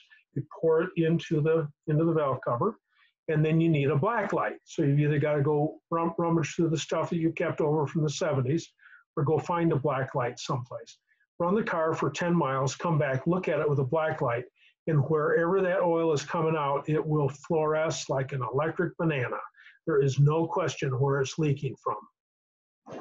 All oil moves towards the back of the car because of the wind, and all oil moves down because of gravity. So any oil leak from the valve cover can appear to be a leak from the gearbox because that oil gets back and it, there's you got that little drip hanging off the hanging off the, the, the drain plug and you go oh geez the drain plug on my gearbox is leaking. No it's not. It's that's from the valve cover. But you don't know where it's from until you put in that oil dye. If if you have a pressure leak, those are dangerous leaks. That's like having having a hole in, in an artery. I mean, eventually you're going to run out of oil. There's only so many drops of oil in the car, a lot of drops, but only so many. Um, and and um, if you have an oil pressure leak, on like on a B or uh, B engine, A engine, over on the right hand side where the oil filter is and the oil pressure hose and that kind of stuff. T types, it's on the left hand side. If you've got an oil pressure leak it leaks under pressure. You got to have, you got to sort that out. That's just nuts. That's crazy. You're going to run out of oil. So then you've got you've got um, pressure leaks from the inside of the engine getting pressurized. And this can happen with T types. Just talked to Jim Perel in California about that. He had a car that brand new engine and it just it was leaking everywhere. And so that we hazarded upon that as a possibility. I'm waiting to hear back from it if in fact that's the truth. But um, if the inside of the engine pressurizes, oil's going to get blown out of anywhere. So the first step is to make sure that that the emission control system, as slight or as great as it is, is open. Well, I got a TC. I don't have one. Yes, you do. You got an oil draft tube.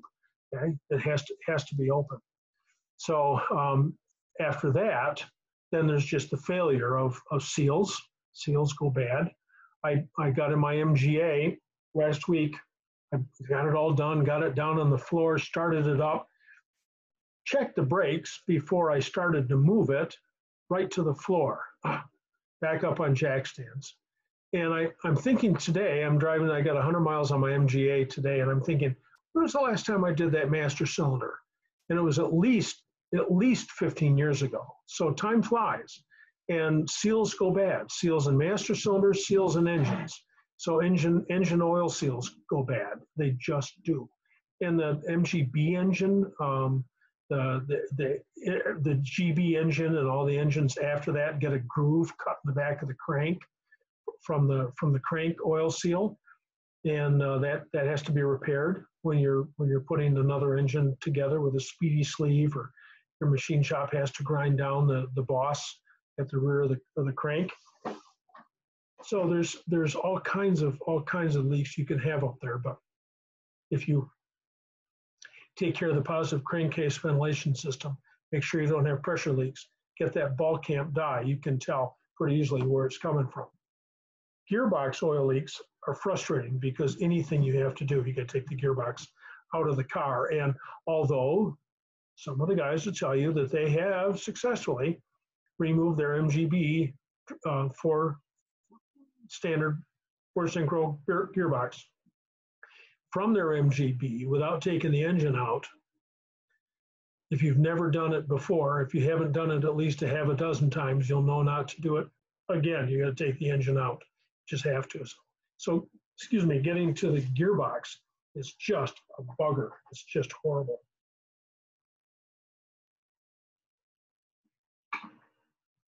Oil leaks and brakes. Excuse me, those are all pressure leaks. You don't want pressure leaks in your brakes. No, no, no.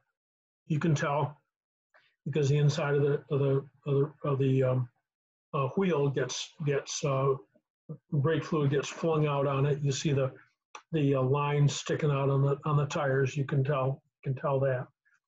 Differentials leak sometimes, and and um, you know on the Salisbury GT GT diff that's those are those are nice. You can just take the back cover off and put the cover back on.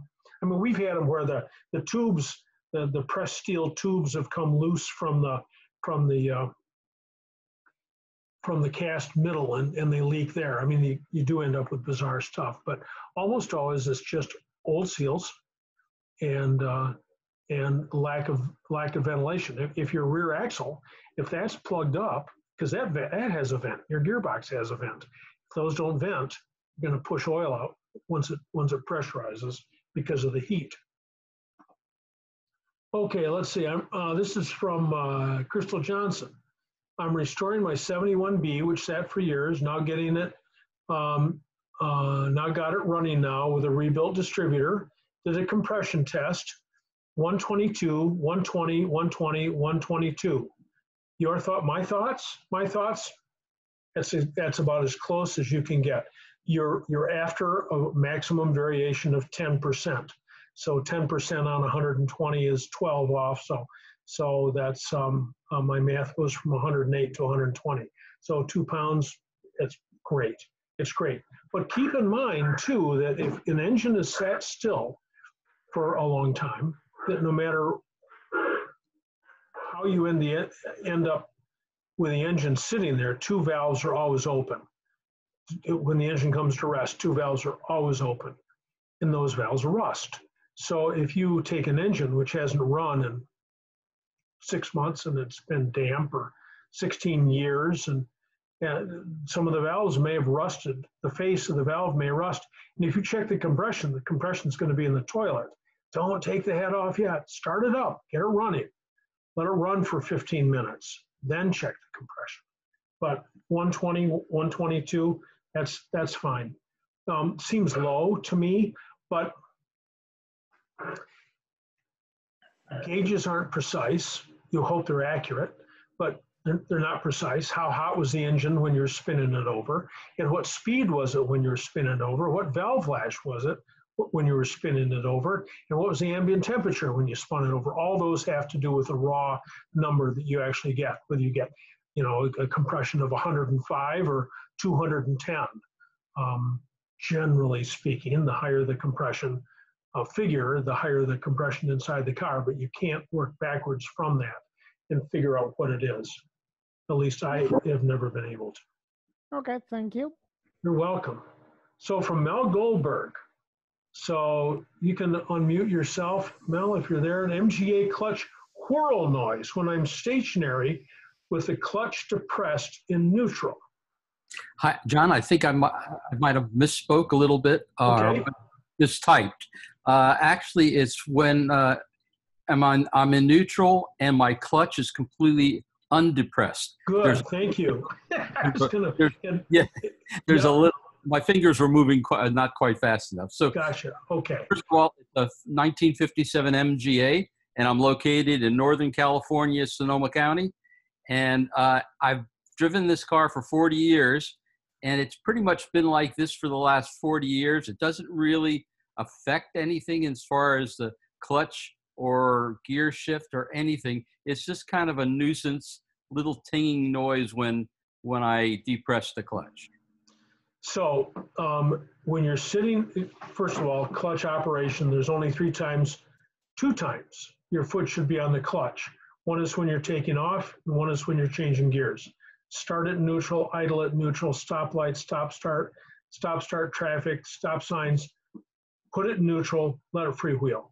Your foot should never be on the clutch. Okay, so um, so when your foot is off the clutch, the, the first motion shaft is spinning.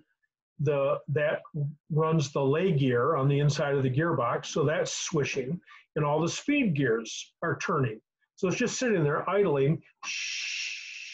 And if you've got a wooden gear shift knob, it'll trans, transmit the noise a whole lot more than some of the original ones.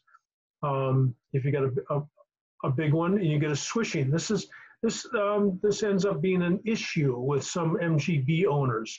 The swishing that you get from from the gearbox. So that, but that's just common. That's it. That's just the, So what ends the- the- so what ends up happening is that okay so i i, I follow your you know where, when you're supposed to Okay. keep your foot off the off Right. the so uh, if it's completely off the clutch it's making this funny little noise and if i depress that clutch just a hair like i'm going to say maybe a half an inch okay then it then it stops Okay, so we've got a throwout bearing, which can move, and we've got the thrust plate on the on the um, on the back of the pr- pressure plate.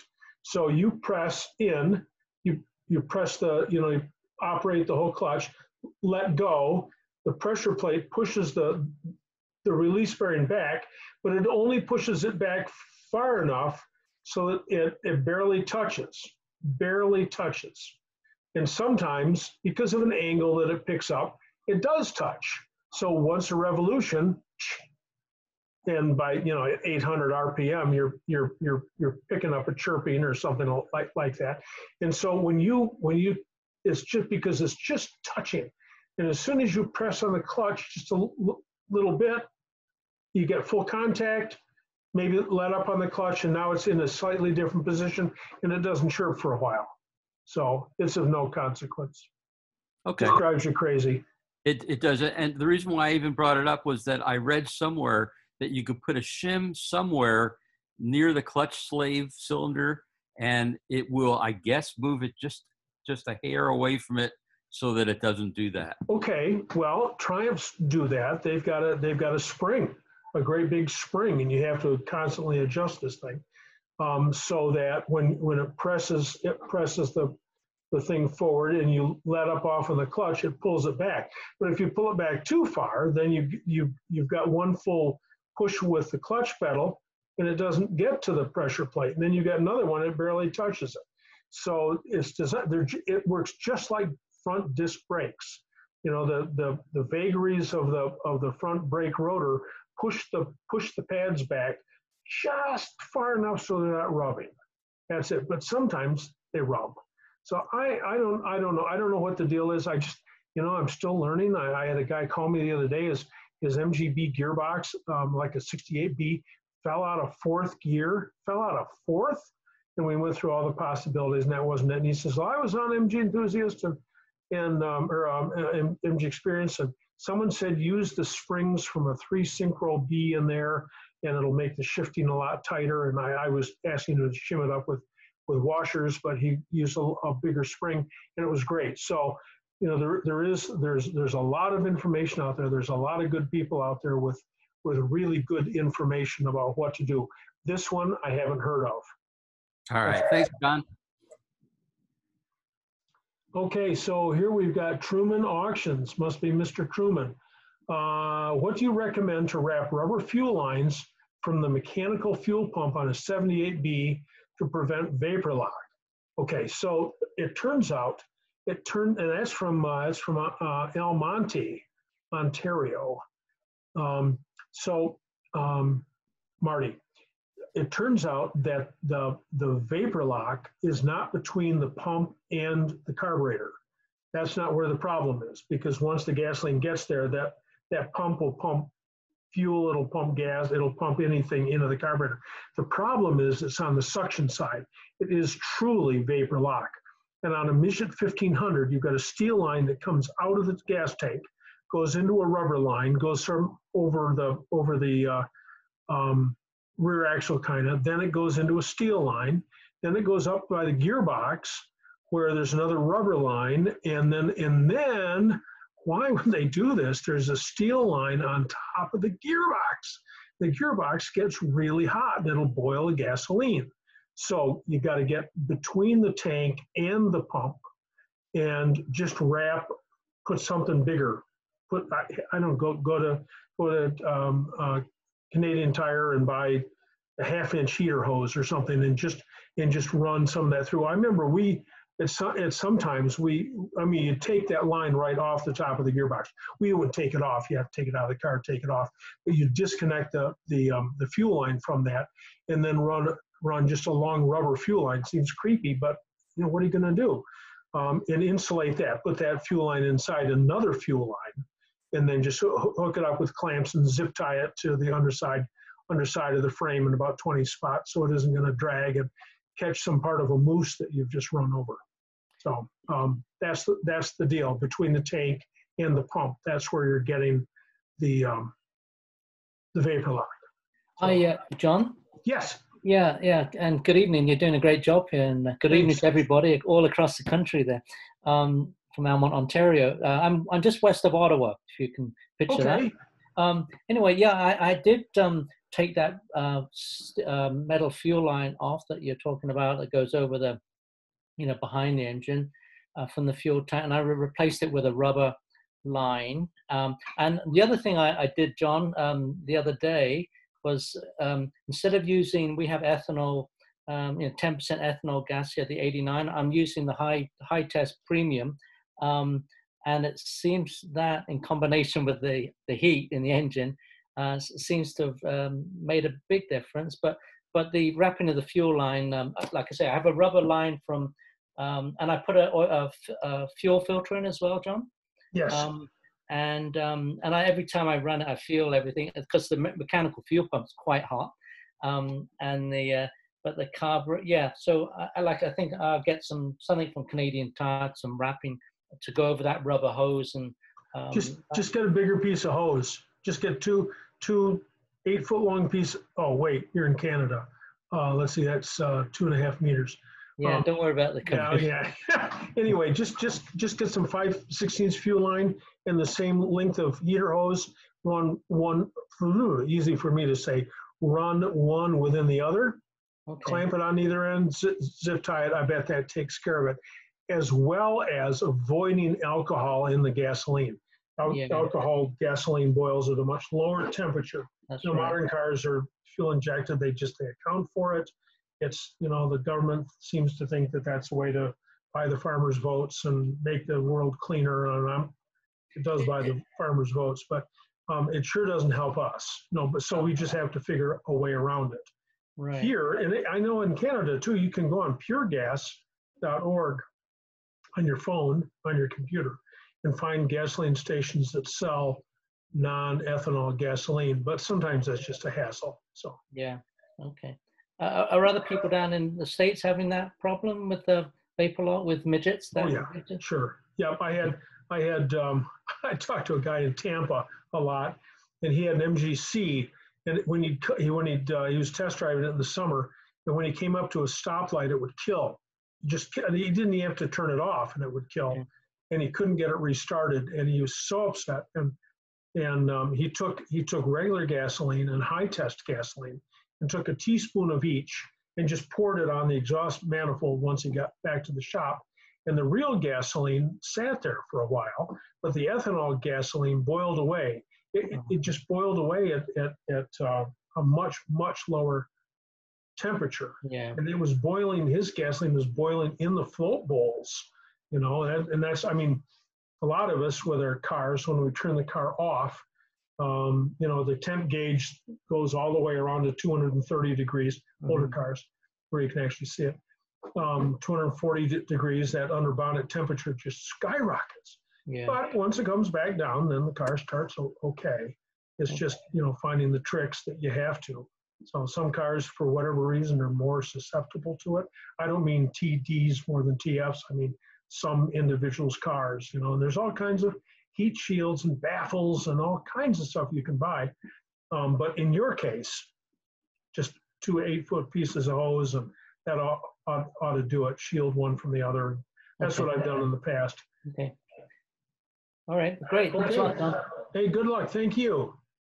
Um, okay, from Tim Bowman, your thoughts on K&N filters to re- to replace the stock canisters. Tim, do you have, um, if you're still online, um, do you have SU carburetors? Is Tim there? Can you unmute yourself, Tim? I don't see on my my thing, but I, I don't, maybe Tim's gone away. Um, anyway, um, K&N filters breathe better. Yes, they do. Um, they are the, the trapezoidal ones, conical ones, excuse me, the conical ones on the 77, um, 75 through 80 MGBs with dual carb conversions are great.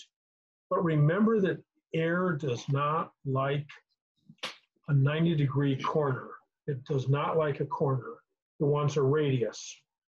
And on all of our SU carburetors from 1963 through 1974, there's a horn, whatever you want to call it, a, a stack, a, a velocity stack. It's either part of the carburetor, if you think of it like that, or part of the air cleaner. It's that aluminum disc that fits on the front. So what you should do is incorporate that into the, or buy small little stub stacks and incorporate that. Those stub stacks are good for anywhere from two to four horsepower. How can that be? Little tiny, little tiny stub stacks. But my associate over in Holland, Michigan, Carl Heideman, who has written heavily for Grassroots Motorsports, has done, I don't know, I, I can't say for sure, but I know it's around 1,400 pulls on a dynamometer with an MGB with every imaginable, conceivable mix of products and design that you can come up with. And, and the proof is in the pudding. Obviously, a big bore exhaust is a whole lot better than a little tiny exhaust. No difference. No difference. Not one horsepower difference. Nothing. Stub stacks, little tiny radius, just a little tiny ra- radius. What difference could, could that make? Up to four horsepower. Go figure. 32 degrees before top dead center. Oh, so you, you know, so you can't do it. You, you don't have a dial back timing light. You, you know, it's like, hey, this is close enough. And you end up at 27, 27 uh, maximum advance, five horsepower at the rear wheels. So, you know, they're, they're, they're just these little things that make a difference. Anyway, K&N air filters, nothing wrong with the factory filters. K&Ns look cool. They're 100 bucks a piece. I'd use the factory ones, but if you want to use them, buy the stub stacks to go inside them so that they work even even better. And then and then you have to change your carburetor needles. That's the question. And I know that's some people say yes, some people say no. Talk to Joe Curto, joecurto.com. Joe's happy to take your call uh, in in Queens, uh, College Point, Brooklyn. So um, anyway, here we got. Oh, from uh, uh, again from Truman. Uh, John, uh, should you top up coolant by filling the reservoir tank or the plug at the top of the radiator first? Um, you should you should fill the engine first with coolant at the top of the thermostat housing. Then put about you know make sure that the overflow tank, the expansion tank, has got about half full. Then when you start the car up, the air that collects at the top will expand because the coolant's expanding that'll go into the into the overflow tank and then then when the car cools it sucks from the overflow tank back into the engine that's way it's supposed to be so but i, I would i would fill fill that that up so um, what's the best way uh, to flush the radiator and the engine coolant through the block on a 78 midget well there are how many hose clamps 19 are there 19 hose clamps? It's a lot of hose clamps. There's a lot of plumbing on those things. Um, 19 or 23 or something or other. Um, you know, you use a garden hose and make sure you get your heater cleaned out. The, the heater or the block drain is um, uh, it's about a one inch bolt on the right hand side of the engine. I think it's to the rear of the carburetor, I think. Um, so it's uh, you just you, you do what you can you, you do what you can. I don't have a magic, I don't have a, a magic way of doing it, but make sure that you clean out the um, the heater matrix first because oh my gosh, that just loads up with silt. So in case you can't get the car hot enough. So yeah, good. Thank you, John. Yep, you're welcome. Um, Rich Caldwell from Texas would like to ask a question about clearances between the goalpost frame section and the heater deck on the body. Oh my gosh. Oh my gosh. You know, when you do it, I, I had I had printed, I had one printed. The guy was doing an MGA in all these. I just remember that. I must have skipped over it. I didn't mean to. Whether you're doing an A or a B doesn't make any difference. Everything is controlled by the position of the door. This is when you're doing body work. Everything is controlled by the position of the door. Um, so you you if, you take the door off, you make you drill it first, so you know that you drill the hinges, so you can get it right back in the same spot again.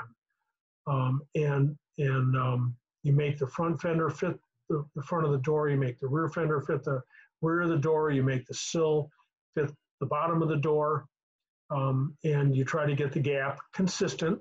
If on if on one side it's one eighth and the other side it's a quarter, I, you know, I, you know, you want to go crazy, you want to get a bead welder and weld, weld all that. but And, you know, I mean, everyone's got their own tricks. But um, God, I'm back to Paul Dershow.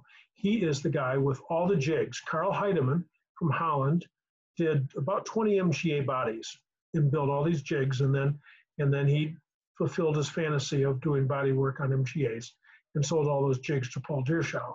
So Paul's got the measurements. I, I, I don't. I don't. Uh, let's see. Oh yeah, here we got Jim Perrell. Don't forget Chevy Chase and Funny Farm, where they destroy a nice TF over a cliff into the water. Yeah, yeah, you just hope that they, that wasn't really true. Um, but I don't know how it couldn't be. So here we've got, um, what's the best place to get a replacement three-point retractable seat belts?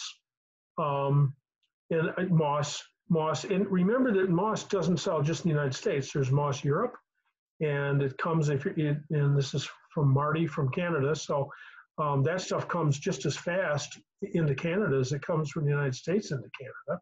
You can order from Moss Europe. You can order from the Ritter Brothers. Um, you can order from the MG Owners Club in England. You can order from Brown and Gammons. There's another great big firm uh, somewhere. Used to be. Um, I'm just blank.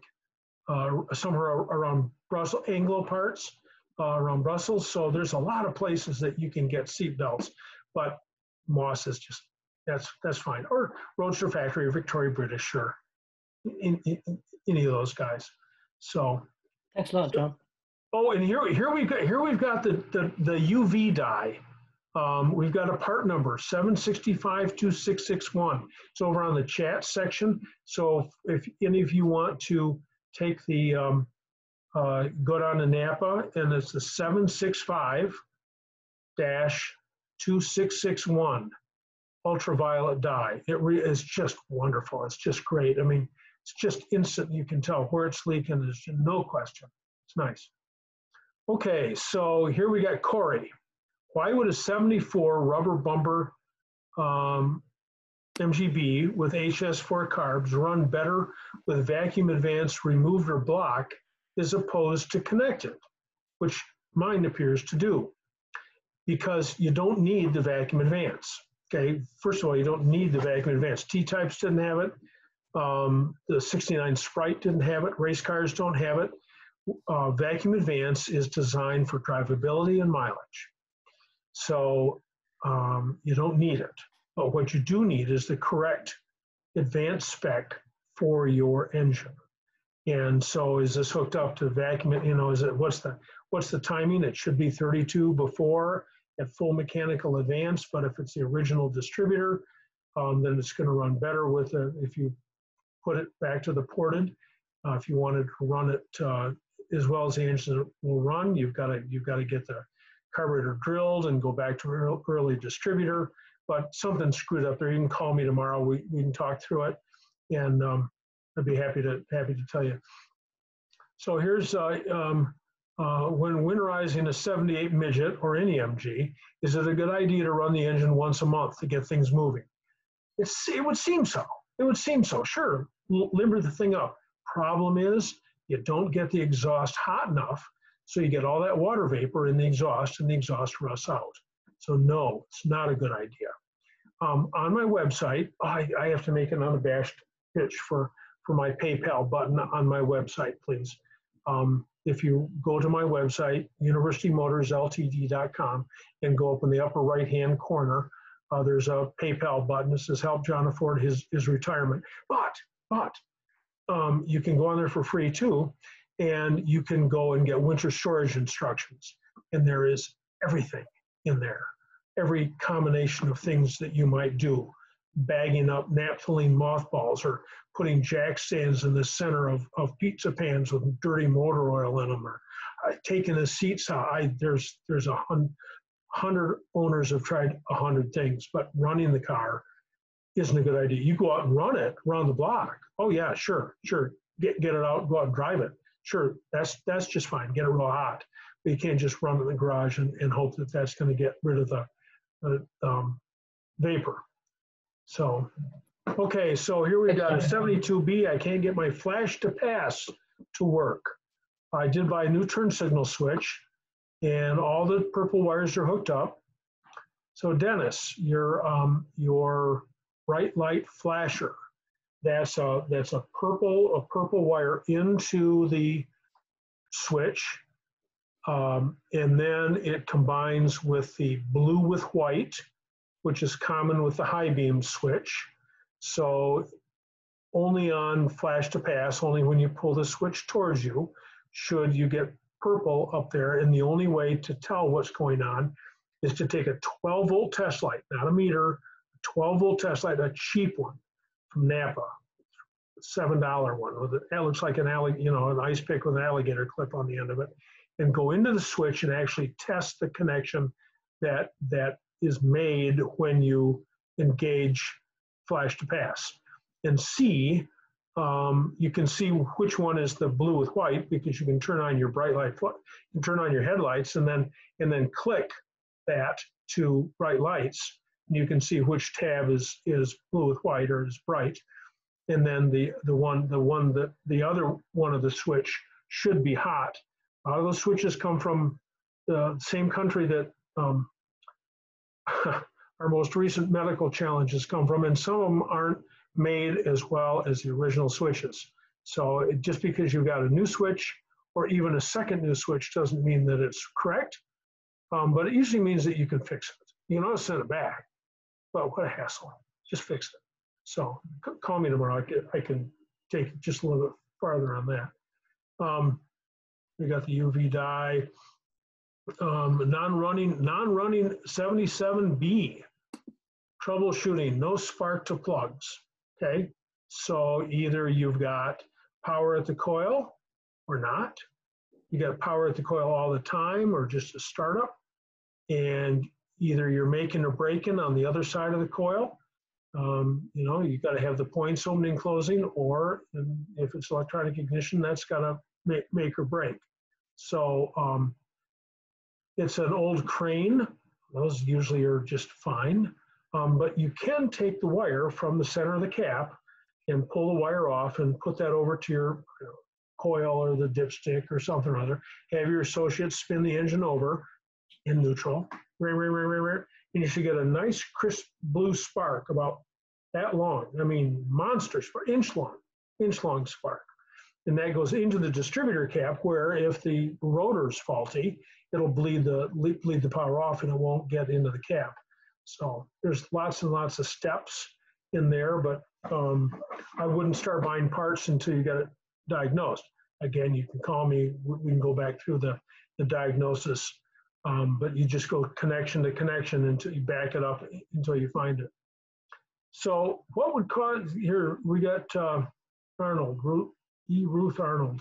What would cause the engine of my 75, 74 and a half BGT to occasionally shudder, shudder in first gear? I've heard it could be oil that gets on the clutch. It could be, it could be. It's really odd to have that. T-type shudder real badly uh, A shudder. It's odd to have an M- MGB in the, the shudder. I mean, the whole car is just shaking, just shaking. Yeah. Yeah, and it doesn't happen any other time. She's been doing it for years, off and on, and it, it she'll do it two or three times in a week, and then not for months or a year. And she's probably been doing it for the last, at least the last ten years. Well, if you want to spend 2,500 bucks and get a new clutch, you can find out if it's that. or uh, that's the only thing. That's the only thing. I don't know how much a clutch is now. I don't run the shop anymore, but Yeah. it's there. They used to be. It used to me. I'm so used to it. Oh, you know, I just kind of, you know, ease off the gas and then proceed, and she stops. Sure, sure, sure. That's it. Sometimes um, it's not it's not good to slip the clutch, you know. But you can if there's an if there's um, stuff on the clutch, you, you can burn it away. But then you're going to burn the clutch up too. So what's the point? Yeah, the the factory workshop manual I think gives 4.35 hours for getting the engine out of the car, getting a new clutch on, and getting it back Yeah. in.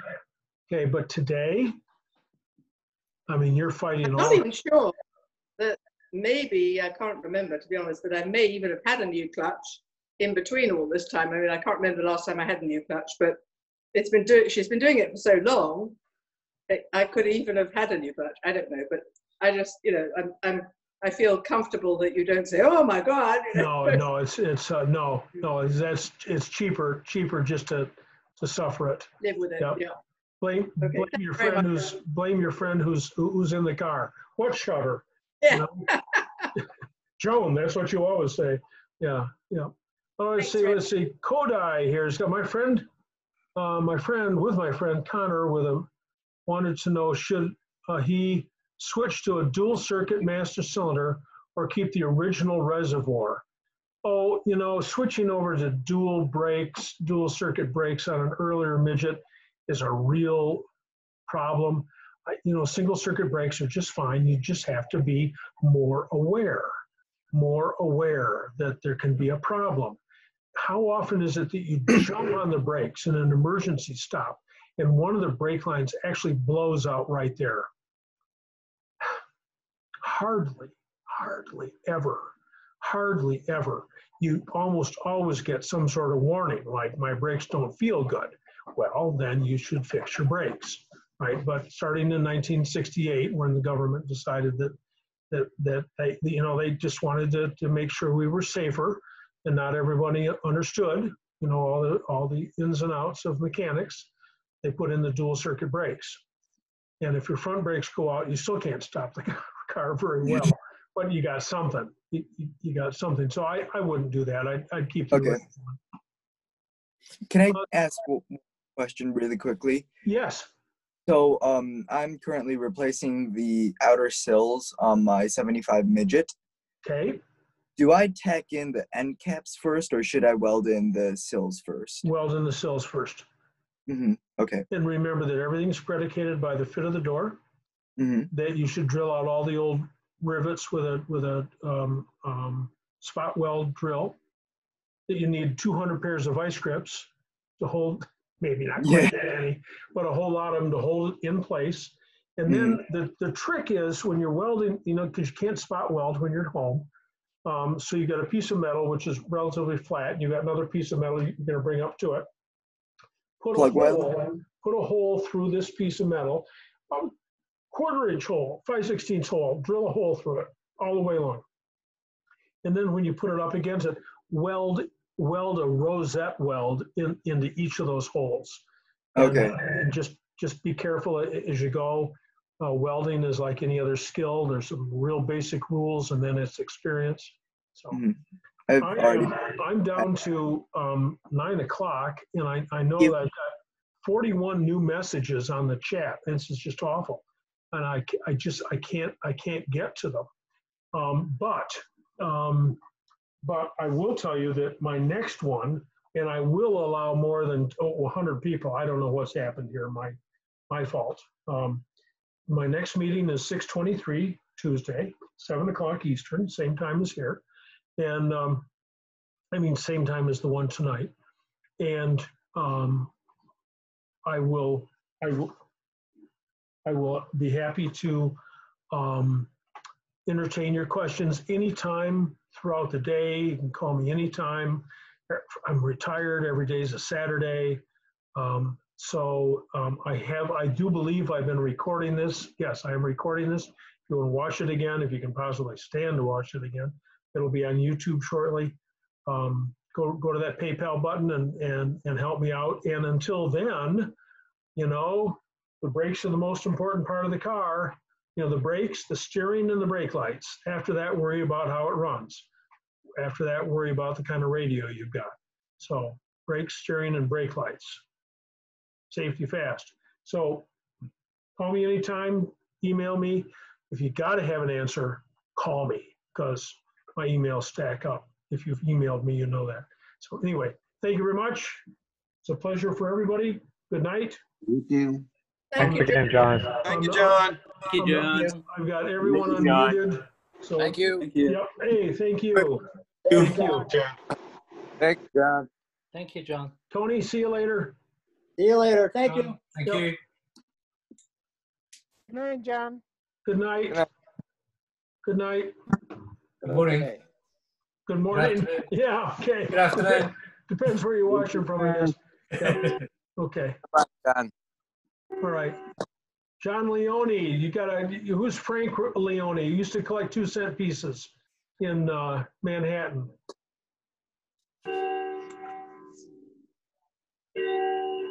So anyway, good night all. Right.